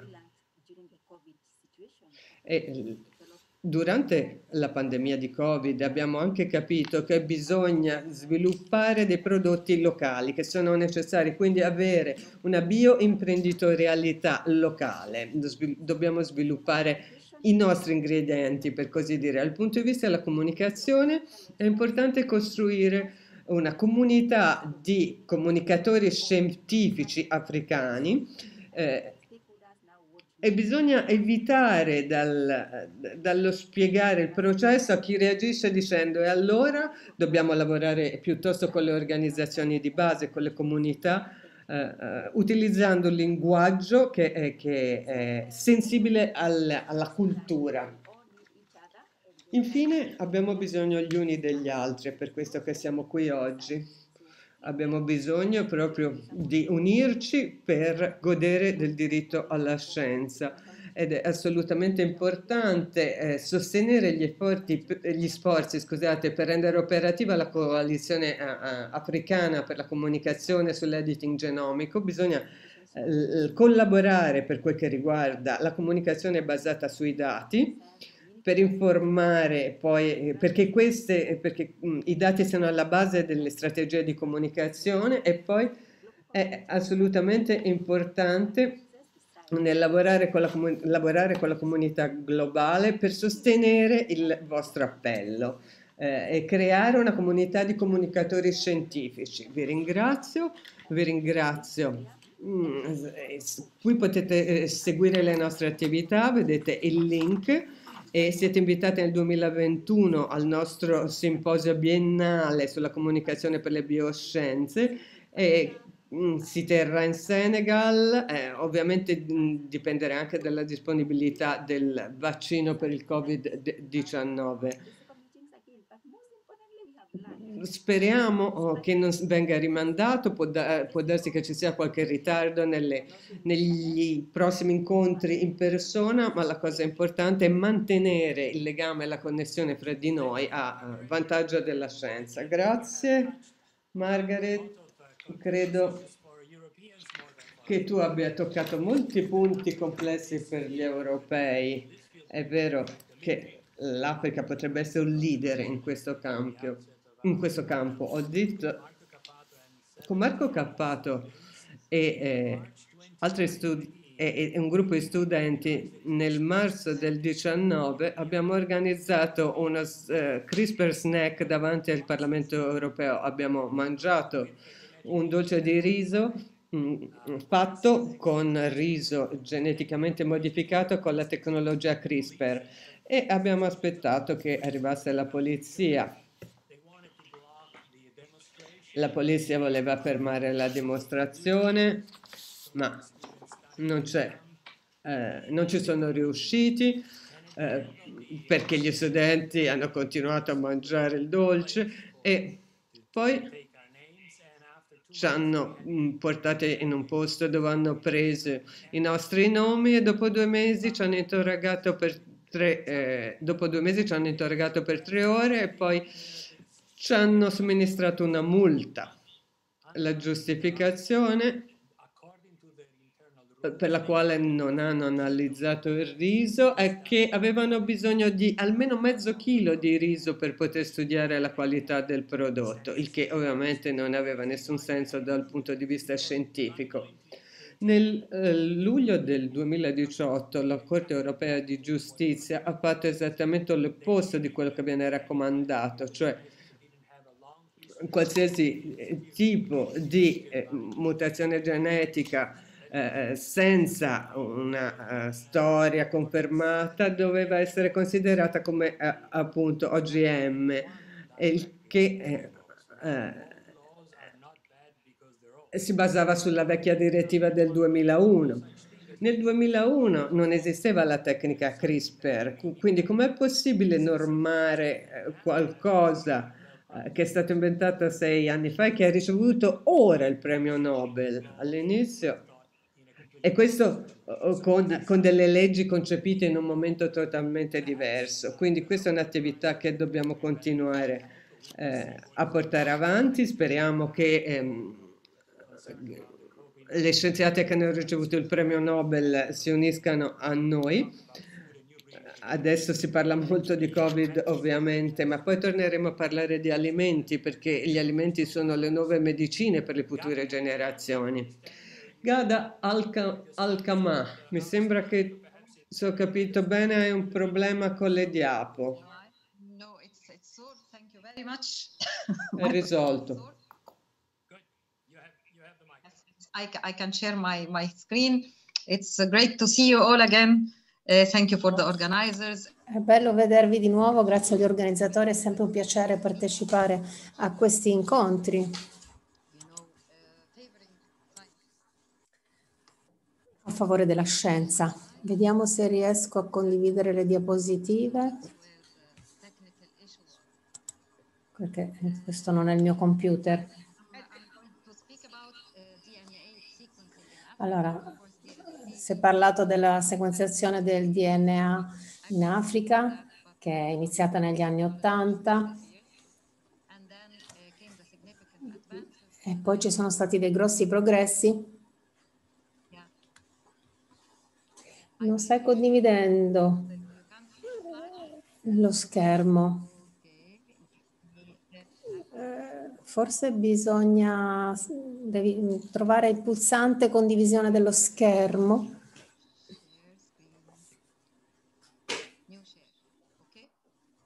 Bene, ora lo vedete?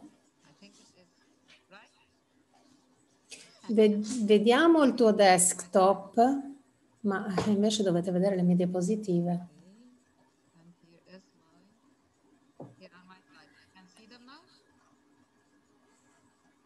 Adesso lo vedete?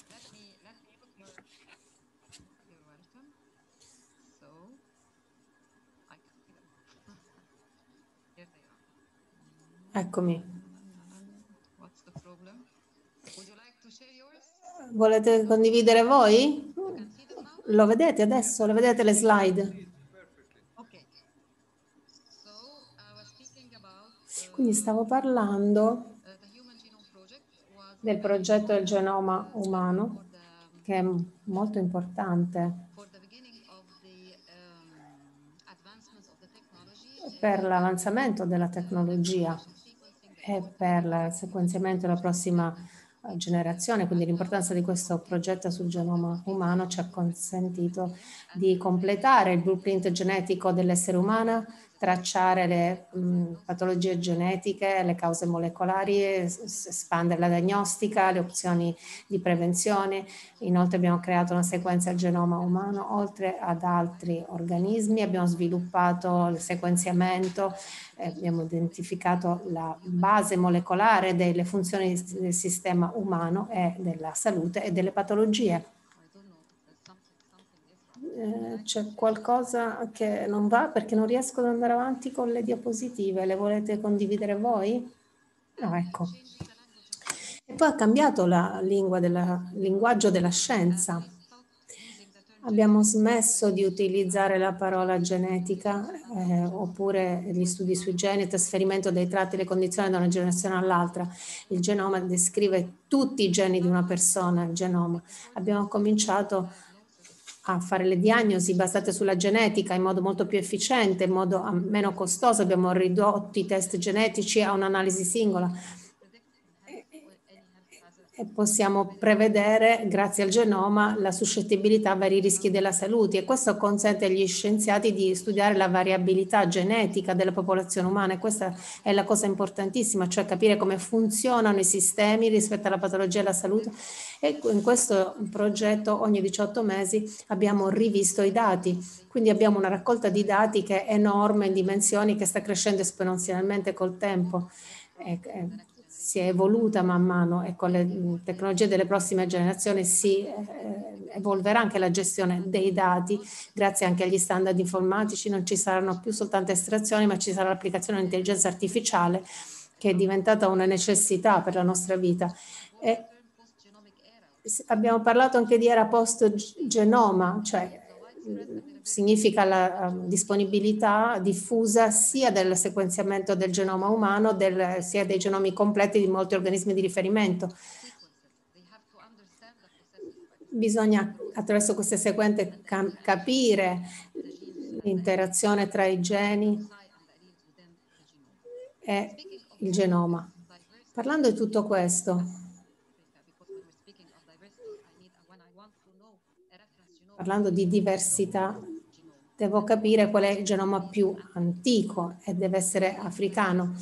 E la diversità in Africa offre grandi opportunità per migliorare una mappatura fine eh, di, di, della risoluzione associata ai loci. Poi ci aiuta a scoprire delle associazioni genetiche nuove con i fenotipi.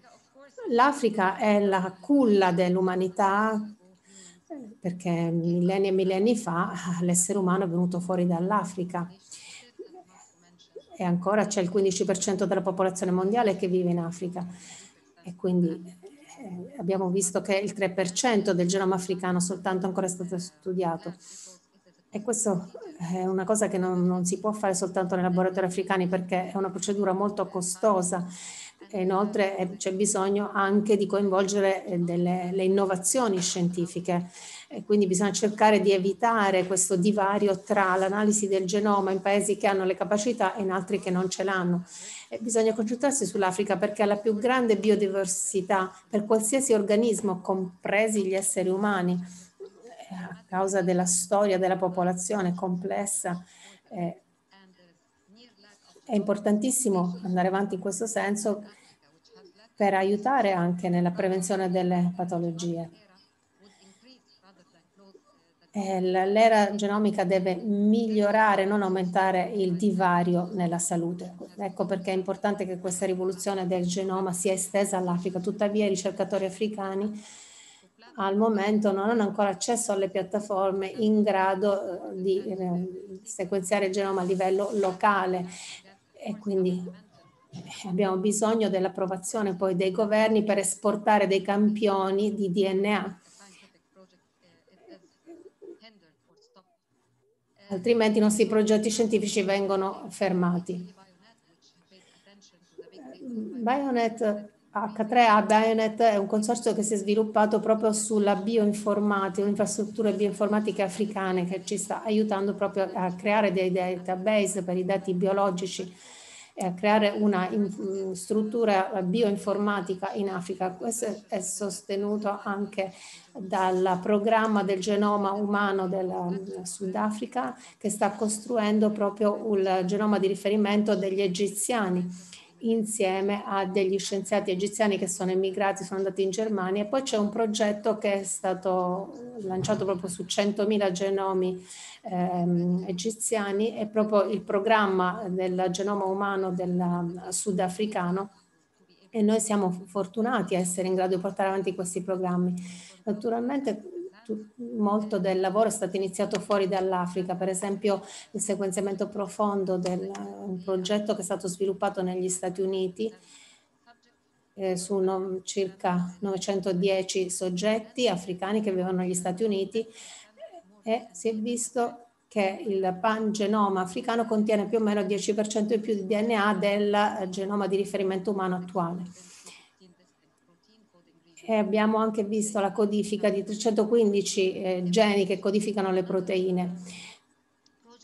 Un altro progetto è stato condotto su 92 persone di 44 popolazioni indigene africane che sono state sequenziate, si è potuta inferire la storia demografica complessa della popolazione africana e l'adattamento ai diversi ambienti. Naturalmente all'interno dell'Africa c'è molta diversità tra le popolazioni.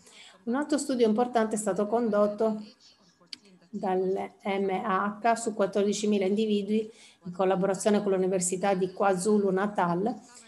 E si è visto che circa un quarto della variazione genetica identificata non era stata mai scoperta prima.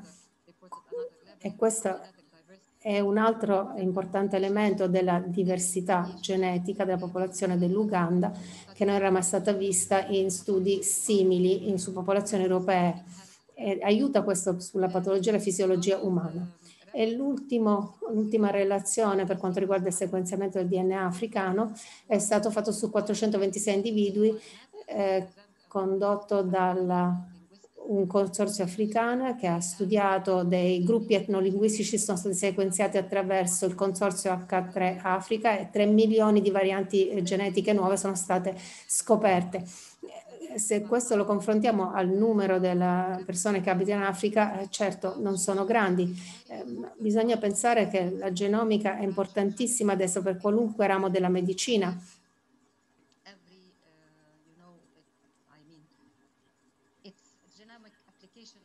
è l'applicazione del genoma estremamente importante per, tutti, per, tutte le discipline mediche e sarebbe molto importante avere un'uguaglianza, un'equità genomica in tutto il mondo.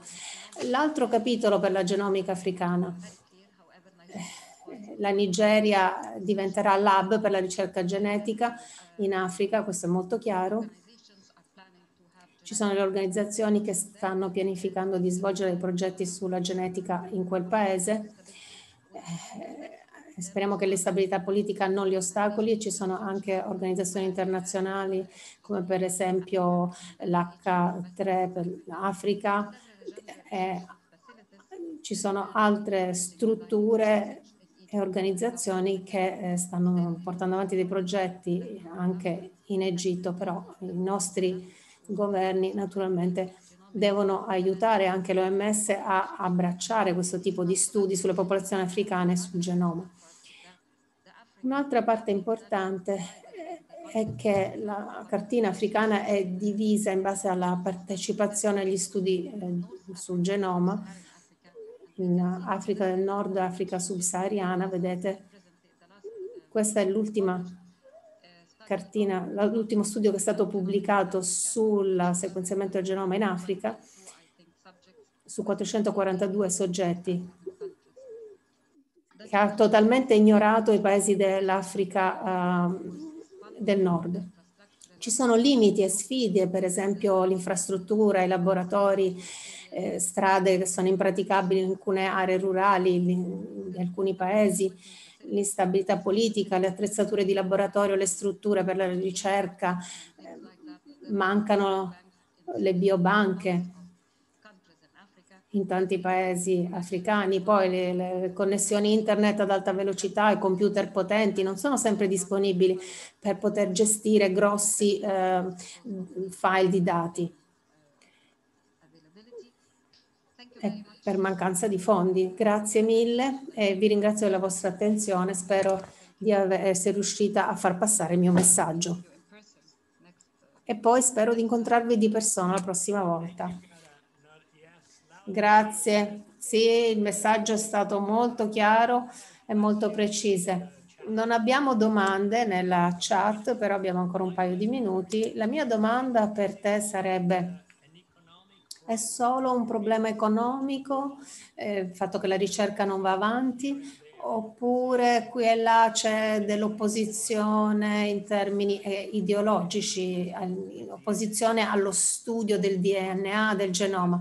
Lo chiedo perché la domanda precedente che è stata posta riguardava la ricerca in Europa e in Italia sulle cellule staminali che ha un'opposizione di tipo ideologico e che questo può avere un ruolo nel rallentamento del progresso della scienza. Quindi mi chiedevo se anche nei vostri paesi ci sia questo tipo di opposizione, perché ci sono anche lì eh, le influenze della religione o comunque i principi etici, morali, gli aspetti etici e morali eh, che riguardano questo tipo di studi.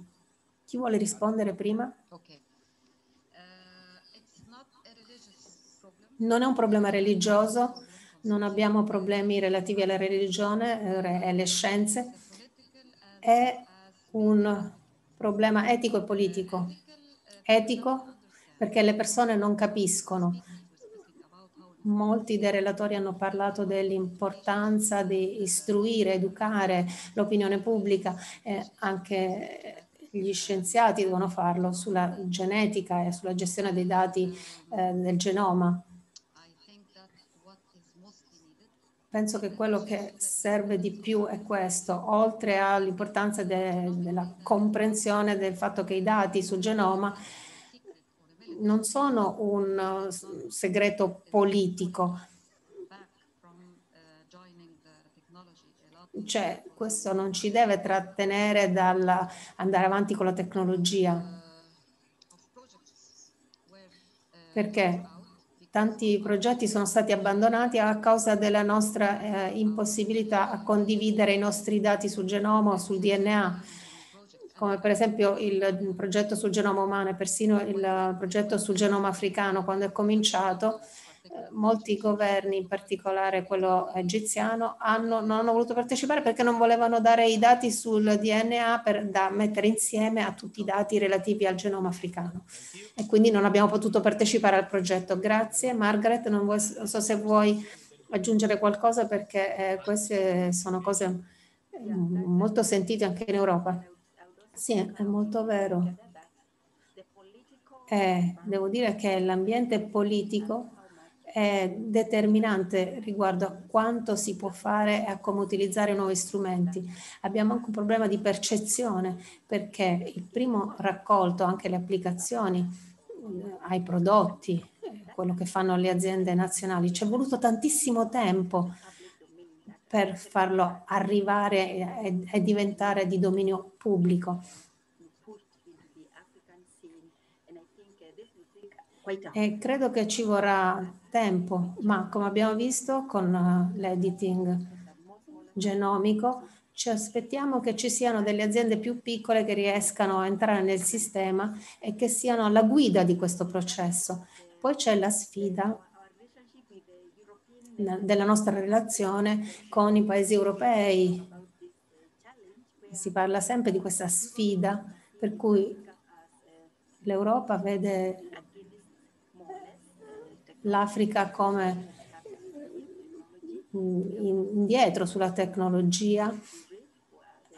Abbiamo visto che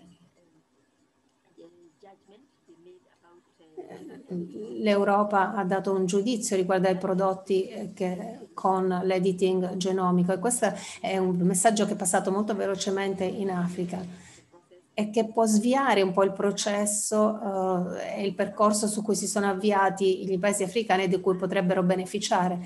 Ma su una nota positiva abbiamo visto anche una popolazione giovane e entusiasta, giovani scienziati che, hanno, che, sono creativi, che hanno talento e che vogliono imbarcarsi in un'avventura. L'abbiamo visto questo, che cosa stiamo facendo nel settore dell'agricoltura. Quindi una volta che l'ambiente politico sia, sarà più favorevole, noi ci aspettiamo che, eh, di diventare il centro delle biotecnologie in Africa. Grazie, grazie a entrambe.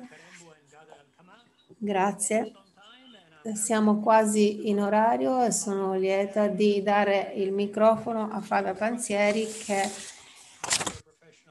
ha trascorso la maggior parte della sua vita lavorando con l'UNDP, è, è, stata vice alto commissario dell'ONU per i diritti umani, adesso è una, uh, una, attivista per i diritti umani dal punto di vista della società civile e vive in Umbria. La parola a lei. Grazie Marco, buonasera a tutti e buona giornata mondiale della scienza. Abbiamo poco tempo e tre relatori molto interessanti per cui sarò spietata con i tempi e sarò spietata anche con me, con i miei tempi, però vorrei citare dalla dichiarazione di Aubrey Asley, direttore generale dell'UNESCO, dichiarazione per questa giornata, giornata mondiale della scienza per la pace e lo sviluppo, perché penso che sia importante per la discussione.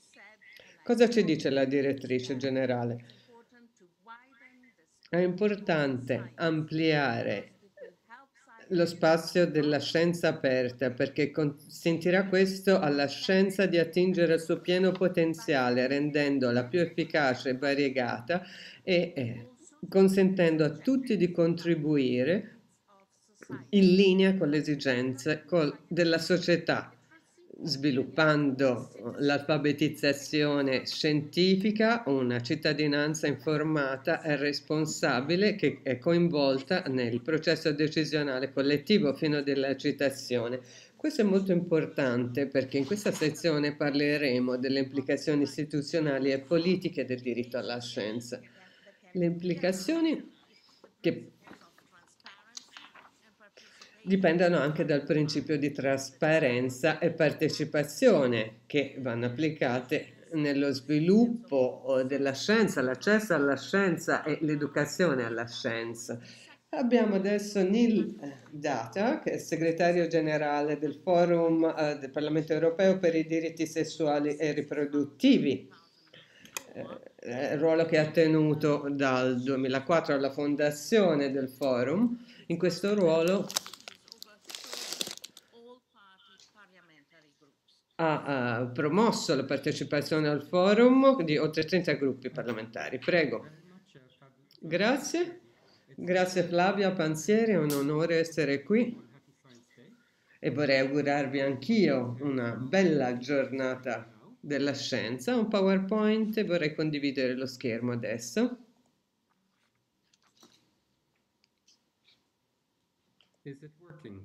Funziona? Mm -hmm. yeah. Yes? Okay. Ok. Sì, sta funzionando. La scienza per la politica. Come si porta la scienza verso la politica? Prima di tutto qualche parola sul forum, sull'EPF. Yes, okay. Uh, so we have 18 years in strengthening oh, da 18 anni cerchiamo di, di, rafforzare le capacità parlamentari e di avere un dialogo rispetto alle questioni scientifiche emergenti vuol dire tradurre quello che viene dal mondo scientifico in qualcosa di accessibile per i politici. Più di recente abbiamo sviluppato l'alleanza parlamentare globale sulla salute, i diritti e lo sviluppo che riunisce parlamentari di 50 paesi in tutto il mondo per far progredire l'inclusione dell'evidenza e della ricerca nella formulazione politica, soprattutto nel settore della salute, dei diritti e dello sviluppo. E di recente eh, ci siamo eh, estesi anche alle regioni africane. Abbiamo uno stretto contatto con molti parlamentari in 20-30 paesi africani. Evidenze per il cambiamento. Le evidenze le utilizziamo per rafforzare i, parlamentari nella loro attività di garanzia dei diritti. Inoltre cerchiamo di aiutarli nel prepararsi a fare delle dichiarazioni estremamente importanti per il progresso della scienza e, e mh, prepararli a prendere degli impegni molto importanti e far progredire i, i, del, i diritti relativi alla salute riproduttiva e sessuale. Questo è un campo specifico nel quale siamo particolarmente attivi. Se approfondiamo un po', Se consideriamo le implicazioni istituzionali e politiche del diritto alla scienza, è facile capire che ci sono degli strati di dinamiche politiche e istituzionali a livello orizzontale fra i settori, ma che funzionano anche verticalmente eh, e, e, che includono cioè i, i percorsi accademici. Cosa fa il, il forum, l'EPF? Cerca di sintetizzare delle evidenze eh, eh, al fine di far sviluppare delle politiche e dei programmi basate sui dati della ricerca. Prima di entrare nei dettagli, c'è una cosa che condividiamo con i parlamentari il quadro normativo internazionale relativo al diritto della scienza, il commento generale numero 25 sul diritto alla scienza con oltre 80 disposizioni e 30 obblighi strutturati, quindi vedete alcuni. Ad esempio le parti sono obblig obbligate a utilizzare le disposizioni del commento generale, devono anche dedicare una sezione specifica a a, relativa alle, alle, questioni scientifiche durante la revisione periodica universale. Devono eliminare tutte le forme di discriminazione eh, contro gli individui e i gruppi nel godimento dei diritti economici, sociali e culturali. C'è una quarta area che è l'eliminazione di leggi, politiche e prassi che limitano in modo ingiustificato l'accesso da parte degli individui o gruppi e poi il, il, il, diritto della e alla scienza, il tema per il futuro dibattito dell'Assemblea generale. È importante sensibilizzare i politici parlamentari eh, a, rispetto a questi punti. Vorrei parlare adesso di qualche direzione per il futuro. Lavoriamo con i parlamentari per ampliare i confini della loro conoscenza in modo che prendano delle decisioni basate sulle evidenze per promuovere il diritto alla scienza. Prima di tutto aumentare la disponibilità e l'accesso disponibilità di accesso all'evidenza e alla ricerca, poi aumentare il livello di chiarezza dei parlamentari, ampliare le opportunità per i parlamentari di utilizzare le evidenze e le ricerche e poi cercare dei paladini fra i parlamentari. Per quel che riguarda l'aumento della disponibilità e dell'accesso, dell'accesso alle evidenze, abbiamo condotto una ricerca e di recente abbiamo cercato di capire eh, il movimento anti-genere che è nato negli ultimi dieci anni e questo l'abbiamo fatto preparando delle pubblicazioni specifiche. La prima a sinistra è Restoring the Natural Order, eh, ripristinare l'ordine naturale, un'altra di quest'anno i, i, crociati moderni in Europa. Lavoriamo con la società civile, con i media affinché possano capire il significato di questi movimenti emergenti in Europa e il loro impatto. Se consideriamo quello che è successo in Polonia di recente rispetto all'aborto e la sentenza della Corte Costituzionale, beh, non si può capire eh, molto bene la, la, situazione del paese senza le, aver letto una di queste pubblicazioni, in particolare i Nuovi Crociati. Inoltre è importante eh, dare delle informazioni comprensibili e accessibili ai politici. Qui ci sono due esempi. Questo è l'Atlante della contraccezione. Consideriamo tutta una serie di indicatori che ci vengono dall'OMS dal sistema ONU e cerchiamo di disporli secondo dei criteri facilmente comprensibili per poter valutare i diversi paesi in funzione di questa stessa serie di criteri, per vedere come i diversi paesi eh, si comportano rispetto a alcune eh, politiche, politiche specifiche. Allora, così si può vedere chiaramente cosa succede a livello di contraccezione. Noi sappiamo istintivamente che il rosso è collegato a qualcosa di negativo e il verde è più positivo. E qui mh, mm, vedete quali sono i paesi migliori e peggiori in Europa. E vedete in Africa quali paesi hanno dei buoni risultati con la contraccezione e quelli che hanno um, dei risultati meno buoni. Queste sono informazioni complesse, semplificate e chiarite uh, per i politici. Dopodiché quando le persone capiscono che c'è da lavorare nel loro paese su un'area specifica, forniamo loro degli strumenti che li aiutano a migliorare la situazione nei propri paesi. Questo ad esempio l'abbiamo fatto per l'Africa sulla questione della contraccezione, ma anche per la prevenzione del tumore della cervice in Europa. Quindi abbiamo riunito oh, le evidenze scientifiche e mediche le abbiamo presentate in un modo chiaro per i parlamentari e per i politici, mm, sottolineando ciò che è più rilevante per essi. Quarto punto, creare dei paladini fra i parlamentari. I politici devono avere degli spazi per comprendere e digerire e promuovere le informazioni che ricevono quindi possiamo farli incontrare per parlare di questioni specifiche, eh, le approfondiamo in modo che poi possano mm, prendere delle misure a livello politico. E con questo concluso, spero di aver rispettato i tempi e vi ringrazio molto per l'attenzione. Grazie davvero. Thank you, Neil. Very interesting and extremely important to stress the need for... Grazie, interessante, è importante sottolineare l'esigenza di cooperazione all'interno e tra le regioni per aiutare i decisori politici a prendere le decisioni corrette sulla base di informazioni eh, scientifiche valide e solide.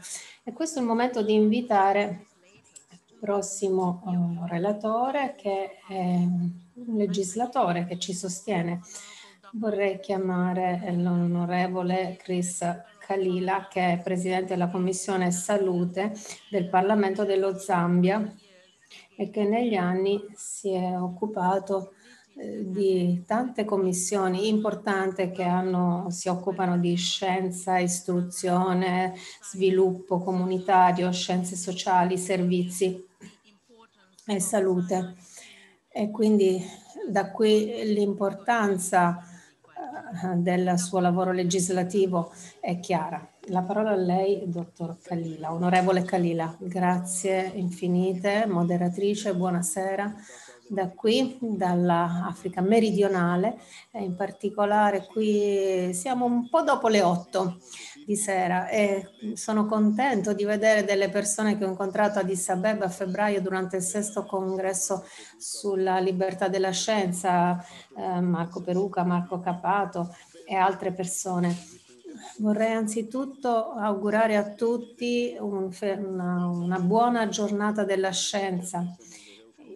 Io mi chiamo Chris Kalila, sono Presidente della Commissione Salute del Parlamento dello Zambia, sono anche membro della Global Parliamentary Alliance uh, for Health, Rights and Development che è diretta da Neil. Grazie a Neil e alla sua squadra che si è impegnato con i parlamentari del continente africano e ci stiamo impegnando proprio nella capacity building e tante questioni. Eh, eh, io posso testimoniare come beneficiario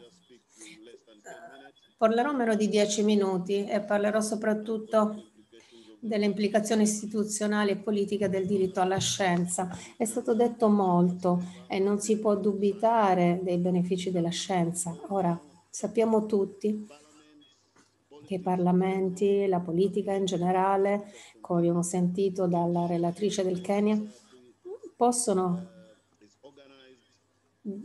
forgiare il modo in cui è organizzata la società, in cui viene, condotte, viene condotta l'economia in una società. E quindi come parlamentare vorrei citare subito il fatto che i parlamenti sono molto importanti perché sono proprio la sede della legge e, del e, della governance, quindi hanno un ruolo fondamentale, possono frustrare oppure invece alimentare, accrescere il ruolo della scienza e dei benefici di cui fruisce la società. Eh, abbiamo già sentito il dibattito su questo, ma i parlamentari e i parlamenti promuovono lo Stato di diritto, promuovono i diritti umani e la scienza è un diritto umano economico, come c'è già stato detto. I parlamenti legiferano, eh, varano le leggi ed è importante che i nostri politici e i nostri parlamentari possano avere le informazioni necessarie, gli strumenti e le evidenze per essere in grado di legiferare, di promuovere leggi buone che di solito creano un ambiente favorevole alla prosperità della scienza, al prosperare della scienza. Quindi parliamo poi di fondi. Se i parlamentari, i parlamenti non hanno abbastanza informazioni, evidenza dalla ricerca, evidenze scientifiche, non saranno in grado di allocare la quantità di risorse necessarie alla scienza, alla ricerca e all'istruzione i parlamenti ratificano le convenzioni internazionali e i trattati internazionali come la Convenzione internazionale sui um, diritti economici, sociali e culturali, credo, scusa, il Patto internazionale sui diritti economici, politici e sociali, ratificano le convenzioni, ma non le ratificano se non hanno le informazioni, se non capiscono come e perché devono ratificare alcuni di questi strumenti giuridici. I parlamenti inoltre hanno il compito di controllare, hanno proprio l'obbligo di controllare le convenzioni internazionali, seguirle, gli strumenti normativi a livello nazionale, regionale che eh, hanno firmato. Quindi se i parlamenti non hanno le capacità, se non hanno le informazioni, possono frustrare alcuni degli, di questi sforzi. Sappiamo tuttavia che i parlamenti e i politici in generale possono essere anche un ostacolo, l'abbiamo sentito dire prima, lo sappiamo, a partire dal mio paese, che non consentiamo gli OGM. Avete tenuto un dibattito sugli OGM, in effetti c'è un'agenzia per la biosicurezza che deve far sì che proprio vengano controllati gli alimenti che vengono importati per ehm, evitare che ci siano gli OGM e se ci sono devono essere eliminati dagli scaffali dei supermercati. Questo è il risultato di evidenza scientifica adeguata che venisse diffusa e disseminata tra i politici quando noi sappiamo che in un paese come lo Zambia e molti paesi africani abbiamo bisogno della sicurezza alimentare e questa la potremmo trarre proprio dal mm, progresso scientifico in agricoltura. I parlamenti possono far sì che si crei un ambiente propizio per la, la scienza. E molti politici in generale. Breakthrough hanno sostenuto gli scienziati, lo possiamo vedere adesso con l'arrivo del vaccino, una grossa conquista. E noi speriamo che in generale i politici e i parlamentari in tutto il mondo sostengano questi sforzi. Sappiamo che per raggiungere questo non possiamo lasciare i politici e i parlamentari fuori da questi sforzi perché eh, in questo modo eh, si va a ridurre proprio lo sforzo e il nostro lavoro. Quindi ci vuole una piattaforma parlamentare politica che metta insieme gli accademici, gli scienziati, i giuristi, la società civile che interagiscano tra loro in modo da uh, portare alla luce l'evidenza, in, in, modo che i politici non soffochino la libertà scientifica, il progresso scientifico, perché eh, oggi sì, questo è successo, dobbiamo dire, ma in futuro non, dovremo tutti beneficiare della scienza. Come dicevo non mi dilungherò, vorrei ringraziare tutti per avermi invitato e per avermi dato la possibilità di parlare in qualità di parlamentare, parlamentare che ha tratto grandissimo beneficio dal lavoro di Neil e della sua squadra e anche dal congresso scientifico a cui ho partecipato ad Addis Abeba a febbraio. Quindi grazie infinite anche alla moderatrice. Grazie, grazie a lei, onorevole.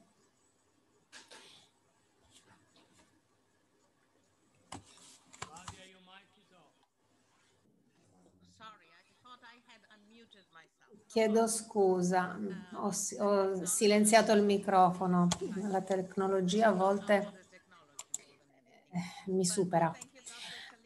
Grazie onorevole Kalila. Grazie anche per aver sottolineato l'importanza dei parlamentari, i quali oltre ad aver avuto l'appoggio dell'alleanza parlamentare, come nel suo caso, eh, che ha, esplicitato l'importanza dell'evidenza che sia solida, che sia comprensibile, perché è questo che può uh, dare le argomentazioni convincenti per investire nella scienza. Eh, che, per far sì che l'accesso all'istruzione, la non discriminazione e la partecipazione divengano veramente parte integrante del processo legislativo. Adesso vorrei dare la parola al professore Cesare Romano, che è il prossimo relatore, professore di diritto internazionale alla Loyola University di Los Angeles. Il professor Romano eh, ha tre lauree, scienze politiche, relazioni internazionali e giurisprudenza in paesi diversi e questo significa che è in grado di vedere tutta l'interazione tra questi vari elementi eh, per quanto riguarda il, la promozione del diritto umano alla scienza. La parola a lei. Grazie, grazie mille. Eh, saluti a tutti da Los Angeles. È una bella giornata di sole oggi. Non solo abbiamo un bel cielo sereno, ma anche l'ambiente è pulito per tanti versi, come sapete. Mi è stato chiesto di, in, questo, in, questa sessione eh, di concentrarmi sugli aspetti politici del diritto alla scienza, però io non sono un politico, io sono un accademico e passo il tempo a studiare e scrivere sul, uh, diritto, sui diritti umani a livello internazionale. E ho trascorso tanti anni uh, studiando sia il diritto alla scienza sia il diritto della scienza, cioè i diritti specifici eh, di cui godono sia gli scienziati che le imprese scientifiche. Quindi Fatta questa premessa, io non um, approccerò la questione come politico, in qualità di politico, ma di accademico. Quindi scusate se avrò uno stile un po' professorale e forse vi dirò delle cose che conoscete tutti, ma credo sia importante non dimenticare gli elementi fondamentali che non ci perdiamo nei dettagli durante la discussione. Anzitutto, il diritto alla scienza, come tutti sanno, è garantito a livello mondiale da un patto sui diritti economici, sociali e culturali. Questo l'abbiamo già sentito, abbiamo sentito parlare del Commento Generale 25 che è stato emesso dal Comitato sui diritti economici, sociali e culturali nel 2020. Abbiamo anche sentito parlare dell'articolo 15 ehm, del patto comma 1b, ma non bisogna perdere di vista il fatto che esiste un diritto della scienza che è protetto da un altro strumento che è il patto gemello, quello sui diritti civili e politici.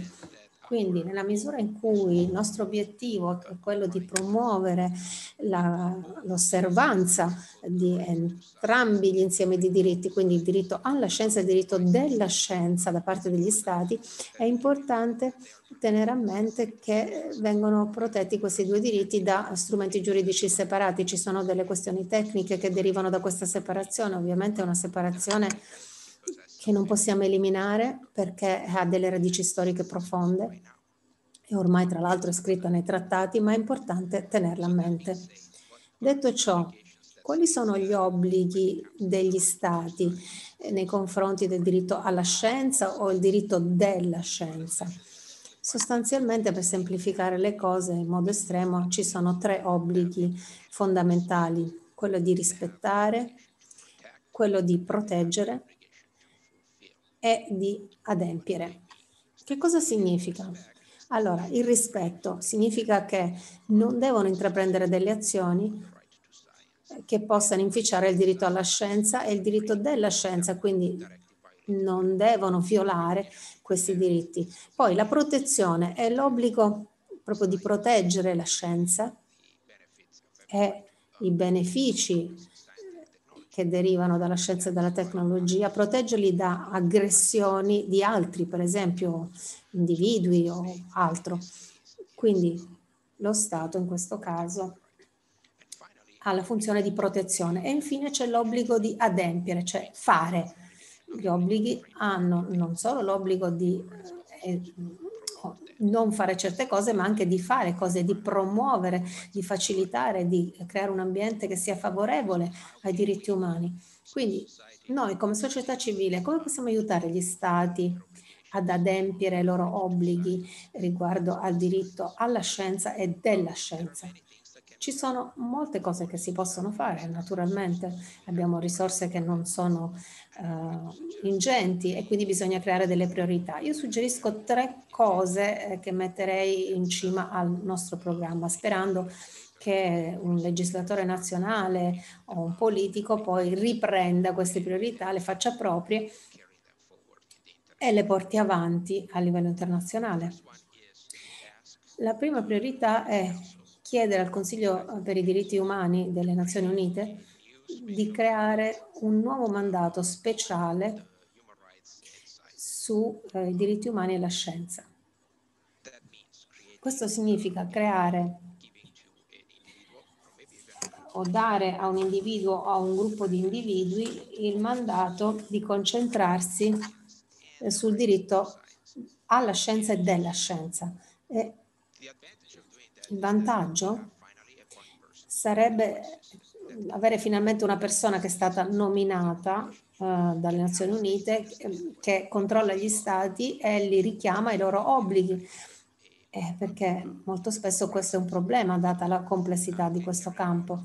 Una persona che può fare delle visite sul campo e impegnarsi nei confronti della società, eh, della, degli stati e dire loro cosa bisogna fare, può diventare anche un, un punto focale che può veicolare il punto di vista della comunità scientifica verso le organizzazioni o gli organismi più alti, ehm, di livello più alto che si occupano dei diritti umani. Ci sono già, credo, eh, 58 mandati tematici all'interno delle Nazioni Unite, quindi sinceramente non vedo perché la scienza non dovrebbe avere un mandato suo, visto che è centrale per la vita di tutti sul pianeta. La seconda cosa da fare è aggiungere eh, quando è possibile, il diritto alla scienza ai diritti umani che sono già sanciti nelle normative. Forse vi può sorprendere scoprire che il diritto alla scienza non è incluso in nessuna, nessuno degli strumenti europei sui diritti umani, non c'è nella Convenzione europea dei diritti umani, non c'è eh, nella Carta dei diritti fondamentali dell'Unione Europea, non si trova neanche nella um, Carta africana dei diritti de, dei popoli e delle persone. Ci sono dei motivi storici per questa omissione. È passato del tempo, la Convenzione europea sui diritti umani è stata adottata 70 anni fa. È stata emendata tante volte, ci sono dei protocolli, la um, Carta Africana dei diritti umani è stata adottata 40 anni fa, credo, e quindi è arrivato il momento di aggiornare questi strumenti giuridici e includere il diritto alla scienza e possibilmente anche il diritto alla, della scienza. E infine una cosa che davvero sollecito uh, i governi, i parlamenti eh, a, a considerare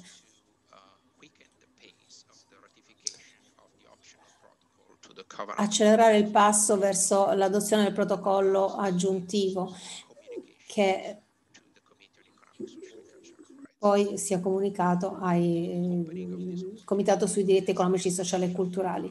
Questa è un'opportunità unica perché rende possibile agli individui eh, fare delle azioni contro gli stati che violano il diritto alla scienza e della scienza e si darebbe con questo protocollo al Comitato l'opportunità di pronunciarsi, eh, di estendere la sua giurisprudenza e quindi di migliorare la nostra comprensione del diritto alla scienza. Inoltre questo consentirebbe di convogliare la voce del pubblico, toglierla dalla strada e inserirla in un procedimento giuridico, in un percorso giuridico. A volte l'obiezione che hanno gli stati alla ratifica degli strumenti che danno una giurisdizione agli organismi che si occupano dei diritti umani sulle violazioni dei diritti umani è che gli stati hanno paura di essere perseguiti, che, devono, eh, che vengono portati in giudizio di fronte alla comunità internazionale. Ma vorrei ricordare a tutti che una controversia non può mai essere compresa e portata avanti eh, se non in un contesto normativo, quindi è un'azione pacifico, è un mezzo non violento di risoluzione delle controversie, è un'alternativa a altri, altri, rispetto ad altri modi che sono imprevedibili, difficili da controllare. Oggi Solo 24 paesi nel mondo hanno ratificato il protocollo opzionale che consente la comunicazione individuale davanti al Comitato per i diritti economici, sociali e culturali. So che un certo numero di stati stanno discutendo la possibilità di ratificare il protocollo singolarmente, ma potrebbero fare di più e meglio. E vorrei vedere una campagna internazionale proprio su la ratifica di questo protocollo. E con questo concludo eh, vi ho dato semplicemente una lista di tre cose facili ma difficili in realtà da realizzare. Eh, stiamo arrivando al Natale e forse una, uno di questi sarà il nostro regalo di Natale, lo troveremo sotto l'albero. Grazie infinite di nuovo per questa eh, discussione molto informativa e stimolante e credo sia importante eh, festeggiare eh, la giornata della scienza e quale miglior modo che farlo con questo seminario. Grazie professor Romano, grazie per aver proposto tre modi molto concreti per andare avanti. Sì, avere un relatore speciale sul diritto alla scienza quando ci sono così tanti relatori speciali già all'interno delle Nazioni Unite è una cosa logica e in questo contesto, nel contesto del Covid, è, ovviamente è estremamente importante che venga riconosciuta l'importanza di avere un relatore speciale, oltre che la, firma, la ratifica del protocollo aggiuntivo che è facoltativo. È, è una cosa importante su cui tutti dobbiamo fare pressione sui governi affinché firmino. il sostegno della società civile e dell'accademia sarebbe molto importante a tal riguardo e poi sicuramente una revisione degli strumenti giuridici, soprattutto in Europa, è necessaria, ma anche in altre regioni, considerando anche che il riferimento alla scienza nella Dichiarazione universale dei diritti umani all'articolo 27 è, è, molto scarna e quindi bisognerebbe un pochino espanderla eh, introducendola anche appunto in altri strumenti legislativi. Non c'è tempo per delle domande, quindi passo la parola, lo schermo e tutto alla sessione successiva e grazie a tutti per la vostra attenzione. Gaia Tafoni, you have the floor. Gaia, Gaia Taffoni ha il microfono.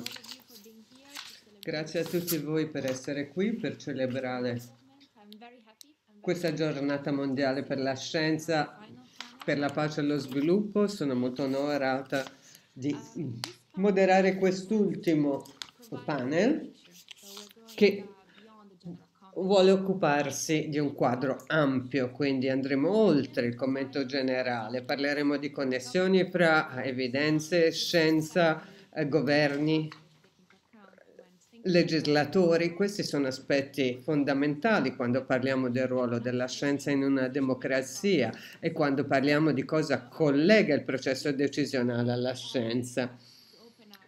I nostri relatori hanno il compito di rimettere insieme questo oh, puzzle cercando di capire come andare avanti, quali sono i futuri passi. Presento i relatori e seguo l'ordine del programma. Il dottor Thomas Koenig, che viene da Vienna, eh, responsabile strategie e servizi scientifici dell'Institute for Advanced Studies, poi Catherine Bretig, eh, professore associato di politica internazionale alla Newcastle University, Tracy Brown, Londra, direttrice di Sense About Science e infine il professor Radelli, è professore alla scuola di Transnational Governance all'Istituto Universitario Europeo di Pisa. One caveat is that as a facilitator I will be ruthlessly strict with the time. Come moderatrice sarò molto rigida sui tempi perché siamo quasi alla fine di questo webinar, quindi ogni relatore avrà 10 minuti, mi scuso. Per questo vi darò un segno verso il settimo ottavo minuto. Il dottor Koenig, che parlerà del ruolo della scienza nelle, nelle politiche pubbliche e il ruolo che la scienza ha nella formulazione delle decisioni. Mi sentite? Spero che funzioni la connessione. Anch'io sto cercando di condividere le diapo.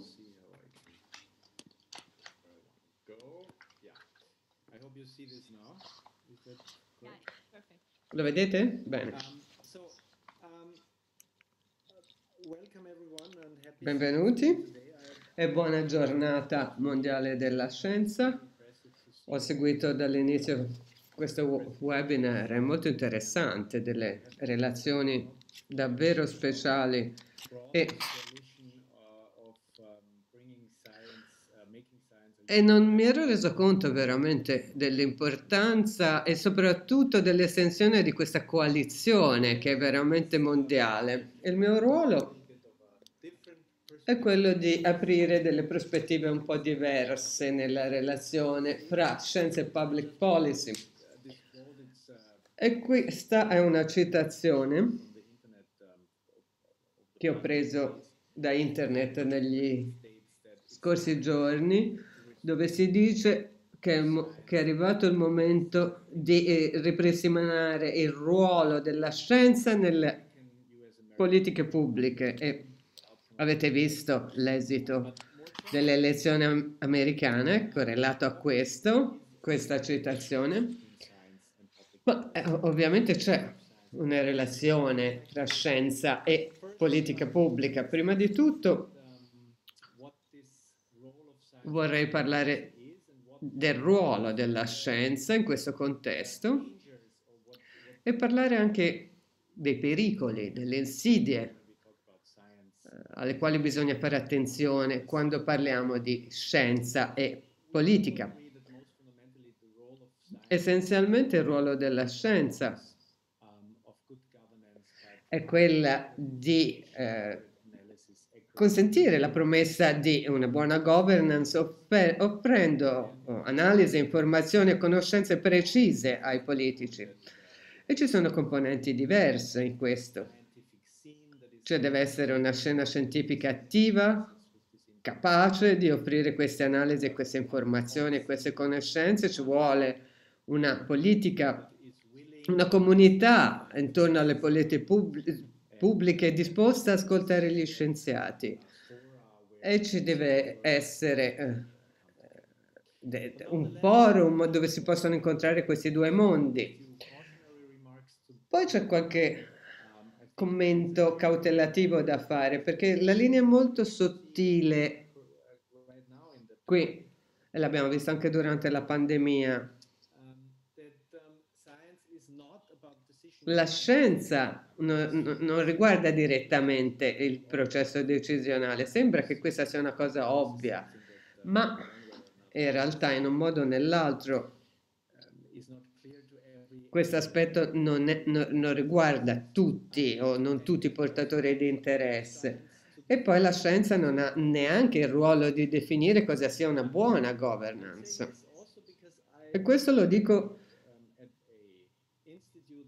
perché lavoro ad un istituto che riunisce ricerca accademica, eh, in particolare nelle scienze sociali, e altri tipi di ricerca. E nell'ultimo decennio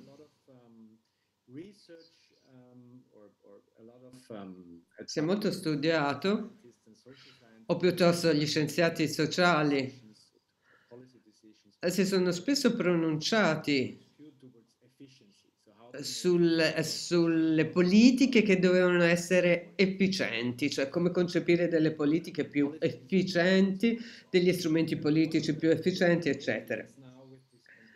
E adesso con questa pandemia ci siamo resi conto del fatto che l'efficienza probabilmente non è l'unico modo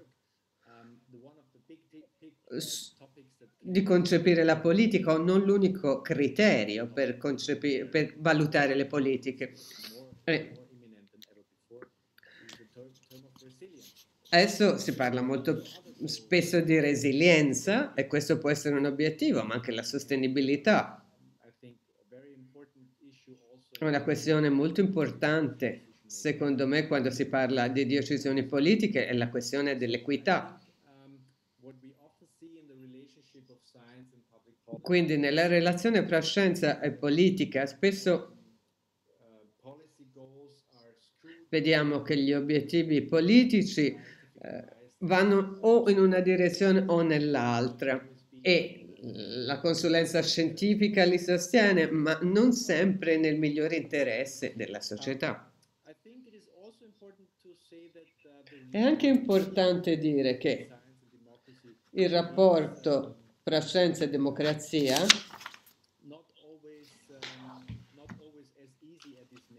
No, non è sempre facile come ci può sembrare.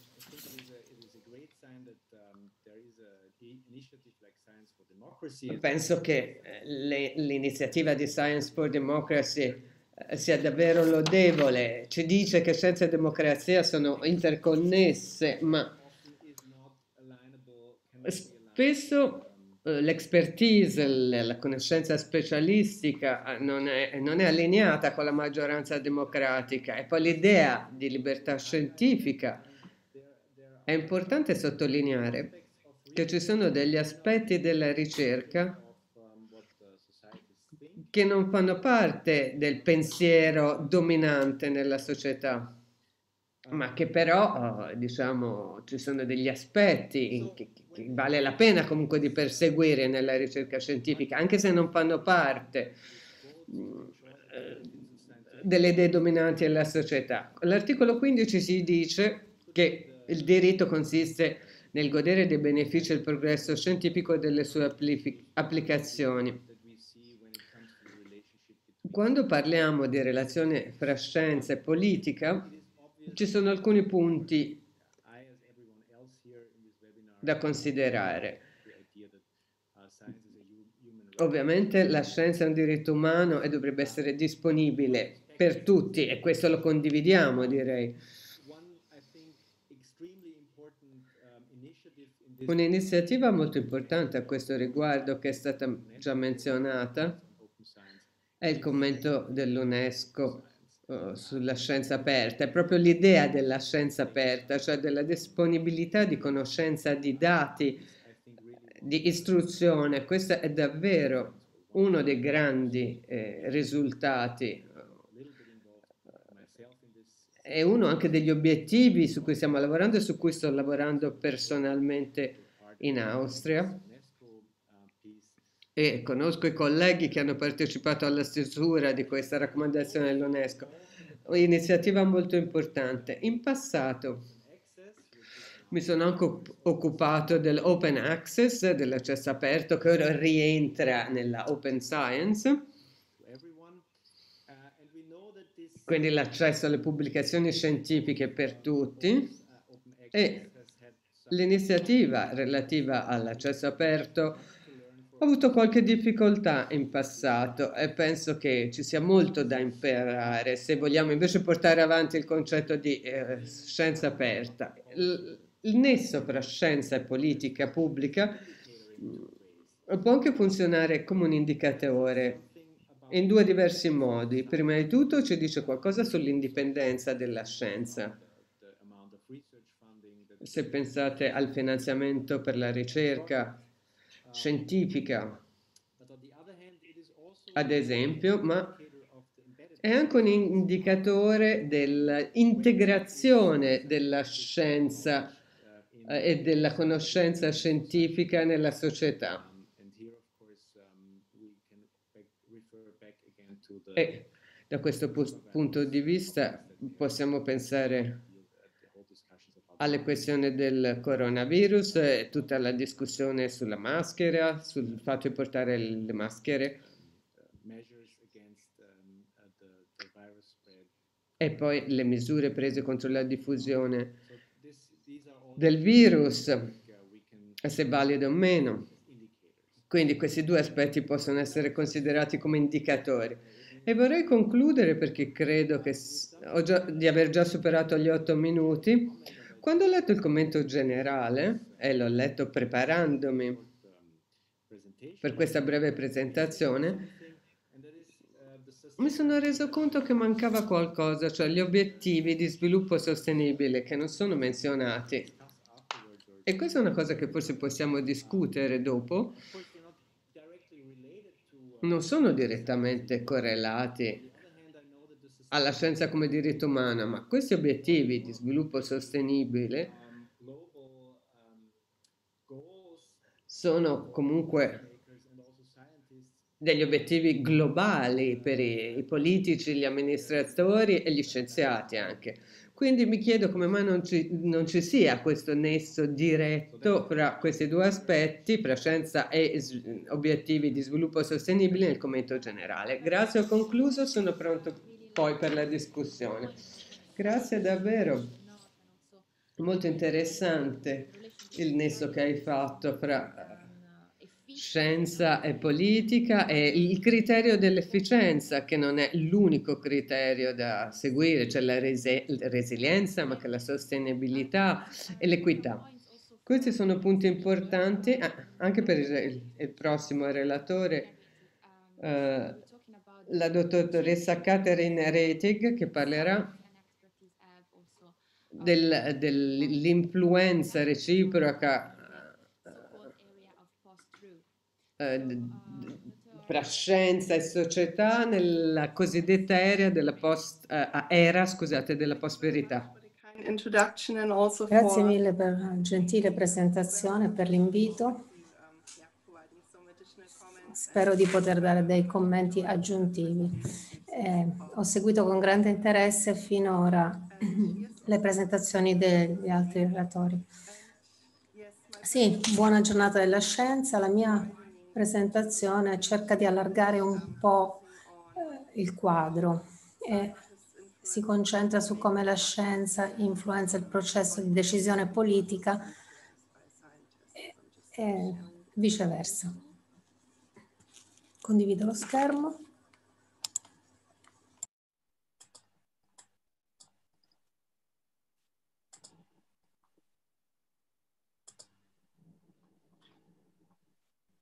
I hope you can see the slides. Yes, very clear. Vedete le diapositive? Bene, abbiamo già sentito da molti dei relatori precedenti parlare eh, dei vari attori che sono coinvolti. Questa è un po' una panoramica. Abbiamo parlato molto di scienziati che lavorano alle università o negli istituti indipendenti di ricerca e che pubblicano nelle riviste con revisione tra pari e la loro influenza, comunque i loro risultati vengono divulgati attraverso i politici e al pubblico attraverso eh, appunto i, politici. I politici sono quelli che lavorano a tutti i livelli di governo e spesso ci sono anche dei consulenti, dei consiglieri politici e dei think tanks che eh, proprio portano eh, informazioni ai politici, così come gli scienziati. Poi c'è la comunicazione nei confronti del pubblico, quindi mm, elettori, gruppi di interesse organizzati che sono mm, poi influenzati dalle politiche e poi gli utilizzatori della ricerca, dell'impatto della ricerca, per esempio la medicina. E poi i media, i giornalisti hanno un ruolo molto importante. E poi ci sono le pubblicazioni in open access da parte degli scienziati, per cui i giornalisti, le persone hanno oh, più accesso adesso ai risultati della ricerca.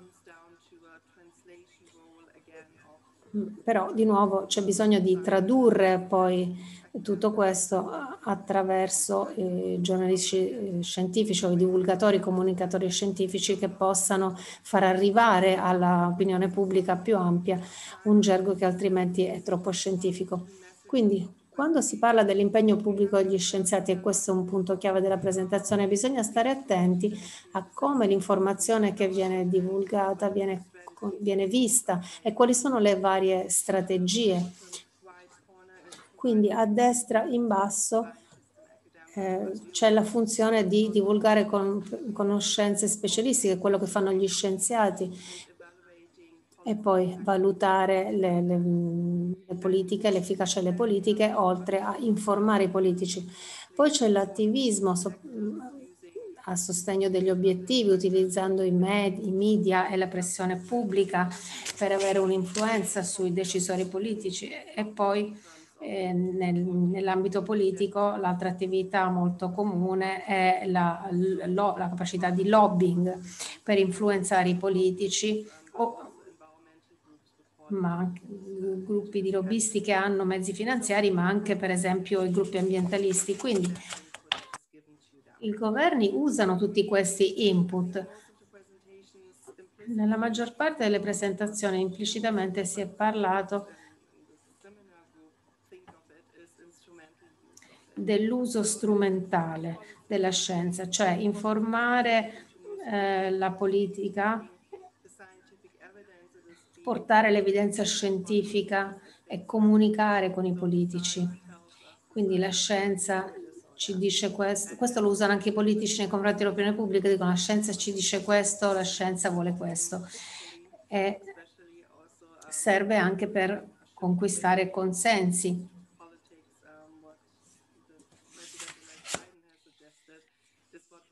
Però siamo in un mondo della post-verità nella politica, come ci ha mostrato Trump. A volte però c'è anche un utilizzo nel senso dell'apprendimento, per esempio trarre lezioni o costruire capacità sulla base dell'input della scienza. Negli ultimi anni abbiamo visto molto negli Stati Uniti, in America del Nord e sempre di più anche in Europa, abbiamo visto un uso politico della scienza, cioè scegliere il tipo di input che può andare a sostenere alcune decisioni politiche. Quindi pre- si prende l'evidenza scientifica che va a sostegno di certi obiettivi politici che i decisori politici hanno già in mente. Ci sono tante sfide contemporanee e una di queste è quella della politica della post-verità, soprattutto negli ultimi 10-15 anni, a partire dalla crisi finanziaria europea, la crisi migratoria, la crisi de, vaccini, adesso la crisi del Covid, soprattutto la seconda ondata, c'è uno spostamento una, verso una tendenza all'uso politico delle conoscenze scientifiche.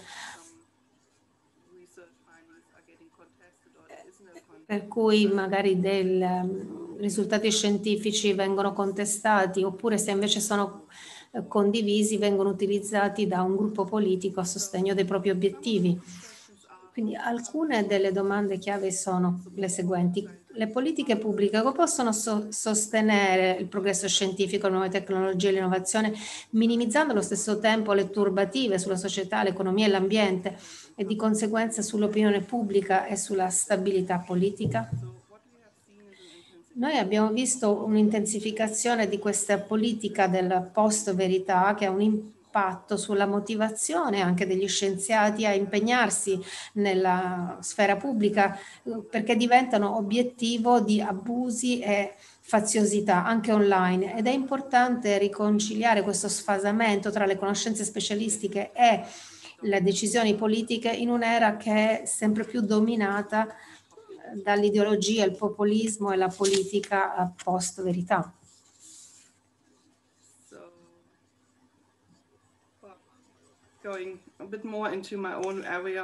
Ora passo un po' alla mia area di ricerca, quindi il cambiamento climatico e le politiche per contrastarlo. Il eh, cambiamento climatico, diversamente dagli esempi precedenti, ha beneficiato eh, del consenso scientifico.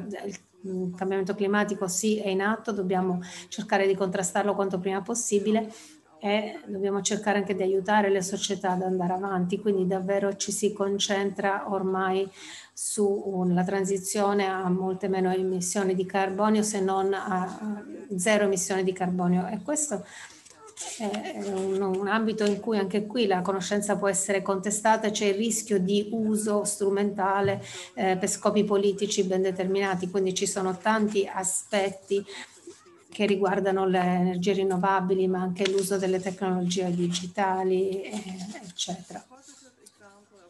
Un esempio positivo su, che riguarda le energie rinnovabili, e questi sono dati del 2018 e stanno migliorando, è che il costo dell'elettricità prodotta dalle rinnovabili è inferiore della maggior, della maggior parte de, invece dei costi della um, energia generata eh, dai combustibili fossili, biomassa geotermica idroelettrica. Quindi durante la transizione abbiamo bisogno anche della, della dell'aiuto della tecnologia, eh, reti intelligenti, eh, città intelligenti e poi eh, migliorare per esempio i contatori intelligenti e spostarci verso sempre più verso le, le, città intelligenti dove si coordina per esempio il trasporto pubblico e poi l'internet delle cose. Però è qui che entrano in gioco le contestazioni, per esempio la cattura e lo stoccaggio del carbonio. Eh, beh, queste eh, apre un dibattito proprio all'interno della società riguardo ai rischi eh, oltre che benefici di queste tecnologie. E altri due esempi sono l'intelligenza artificiale, perché il rischio è quello della uh, violazione della privacy, il controllo, la cibersicurezza, il rischio per la democrazia e poi tutto il dibattito intorno all'energia nucleare, sicurezza, costi, ehm, rifiuti ehm, radioattivi e smantellamento. Quindi per concludere, i dibattiti e decisioni basate sull'evidenza. È importante che ci sia uh, l'accesso aperto eh, e multidisciplinare. È importante anche che si apra una, un dibattito insieme alla società riguardo ai rischi, alle incertezze alle sfide delle nuove tecnologie dei nuovi risultati scientifici. È importante avere, eh, dire che l'evidenza scientifica può cambiare col tempo. Questo è molto importante, la trasparenza attraverso la valutazione dell'impatto, il dibattito pubblico e le deliberazioni, le decisioni pubbliche che sono cruciali. Grazie mille, è stato veramente molto interessante, grazie per aver anche sensibilizzato tutti sul rischio dell'utilizzo dell'evidenza scientifica a scopo politico per sostenere particolari gruppi politici o obiettivi. Quindi dato che siamo un po' in ritardo, adesso do la parola alla dottoressa Tracy Brown, direttrice di Sense About Science. And uh, I'm really glad to be here. Uh, right Grazie, sono molto lieta di essere qui per questo evento affascinante. Vorrei farvi vedere delle diapo. Scusatemi. Un attimo.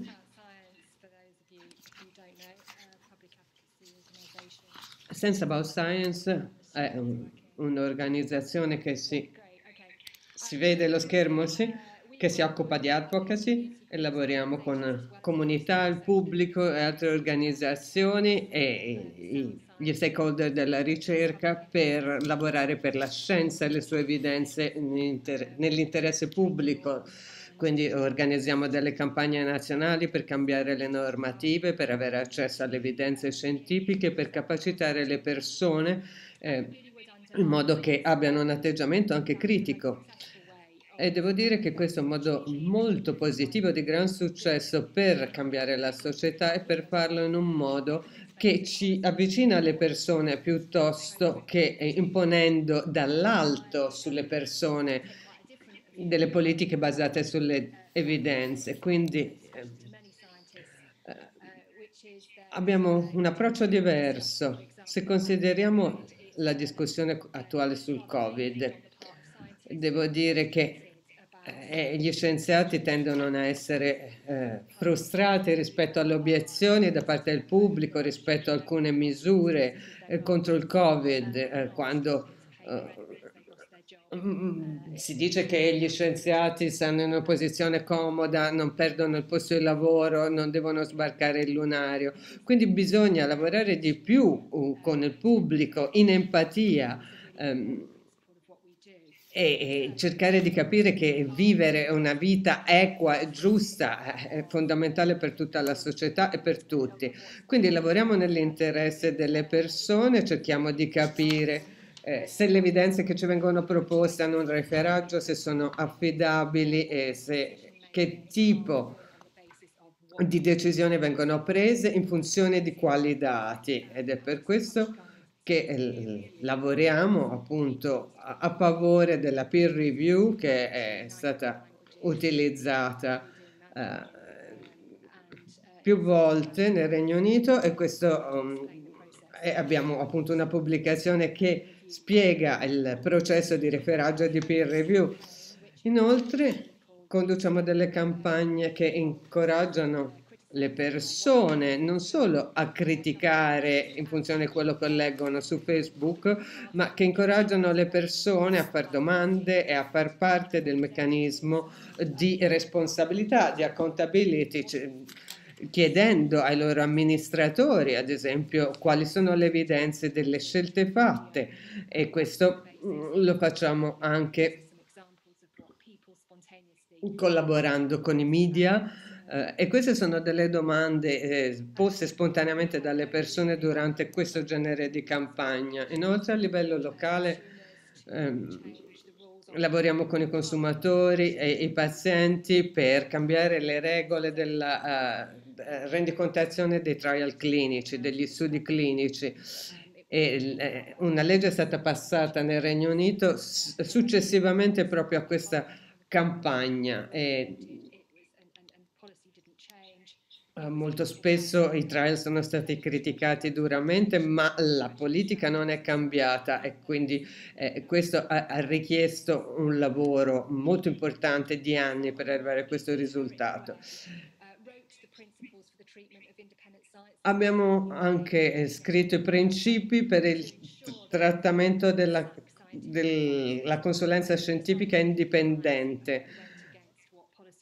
Molto spesso quando la consulenza scientifica si oppone alle decisioni dei politici non viene recepita e quindi bisogna eh, eh evitare che poi i consulenti vengano semplicemente licenziati e quindi eh, bisogna che abbiano anche un sostegno delle persone. Questa diapo la salto. La cosa cruciale è che nel contesto del diritto alla scienza dobbiamo pensare a, a, ai diritti delle persone di avere accesso alle evidenze alla base delle decisioni che riguardano le loro vite.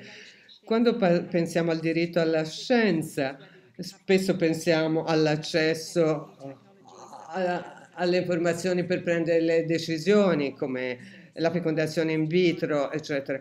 Ma è importante capire su quali basi i, governi a volte negano alle persone l'accesso a questi trattamenti, come vengono utilizzate le evidenze nei processi decisionali. Ci sono molte iniziative che portiamo avanti per migliorare questi aspetti e per migliorare l'utilizzo delle evidenze scientifiche nel processo de- decisionale. Ma come facciamo a saperlo se il processo decisionale migliora se non sappiamo quando e come vengono utilizzate le evidenze scientifiche. È importante che aperte eh, scru- che il processo sia aperto allo scrutinio, alla, alla, verifica del pubblico. E quindi abbiamo creato un framework, un quadro per la trasparenza delle evidenze a disposizione della funzione pubblica, degli amministratori, eh, chiede ai governi di chiarire le evidenze in funzione delle quali hanno chiarito che c'è un problema che richiede una data politica. E, anche al fine di considerare non solo quello che viene proposto, ma anche delle alternative. Inoltre devono anche condividere le evidenze, de, di, eh, devono anche condividere le informazioni su come sono state utilizzate le, le evidenze, ad esempio su quali basi viene introdotto un vaccino. E poi la valutazione. Come sappiamo, se una data politica fatta in funzione di certe evidenze ha funzionato nella popolazione, con quali statistiche, quali sono gli indicatori e parametri che vogliamo vedere.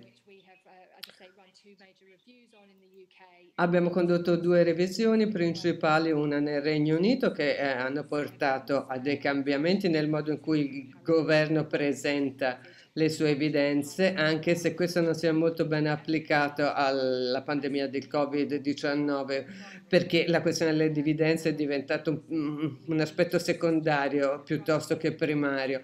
E in una crisi invece comunicare le evidenze fa parte della gestione della crisi. Non si, non, I dati non si usano solo internamente presentando poi alla gente eh, i risultati o le, le, le misure che si vogliono prendere bisogna assolutamente aprire i dati alla società. Ovviamente ci, ci, ci sono degli aspetti complessi, ma devo dire che buona parte del pubblico è stato tagliato fuori dal ragionamento che è stato seguito dai politici nel gestire questa situazione. Vorrei concludere con due punti che sono estremamente complessi, siccome abbiamo mm, abbiamo bisogno di una uh, ris- risposta uh, più robusta uh, dal punto di vista mm, dell'impegnarsi nell'incertezza. Ovviamente non dobbiamo sapere tutto rispetto a una cosa, ad esempio come è stato mandato l'uomo sulla Luna, ma abbiamo bisogno di sapere almeno delle cose di base e questo è fondamentale. E poi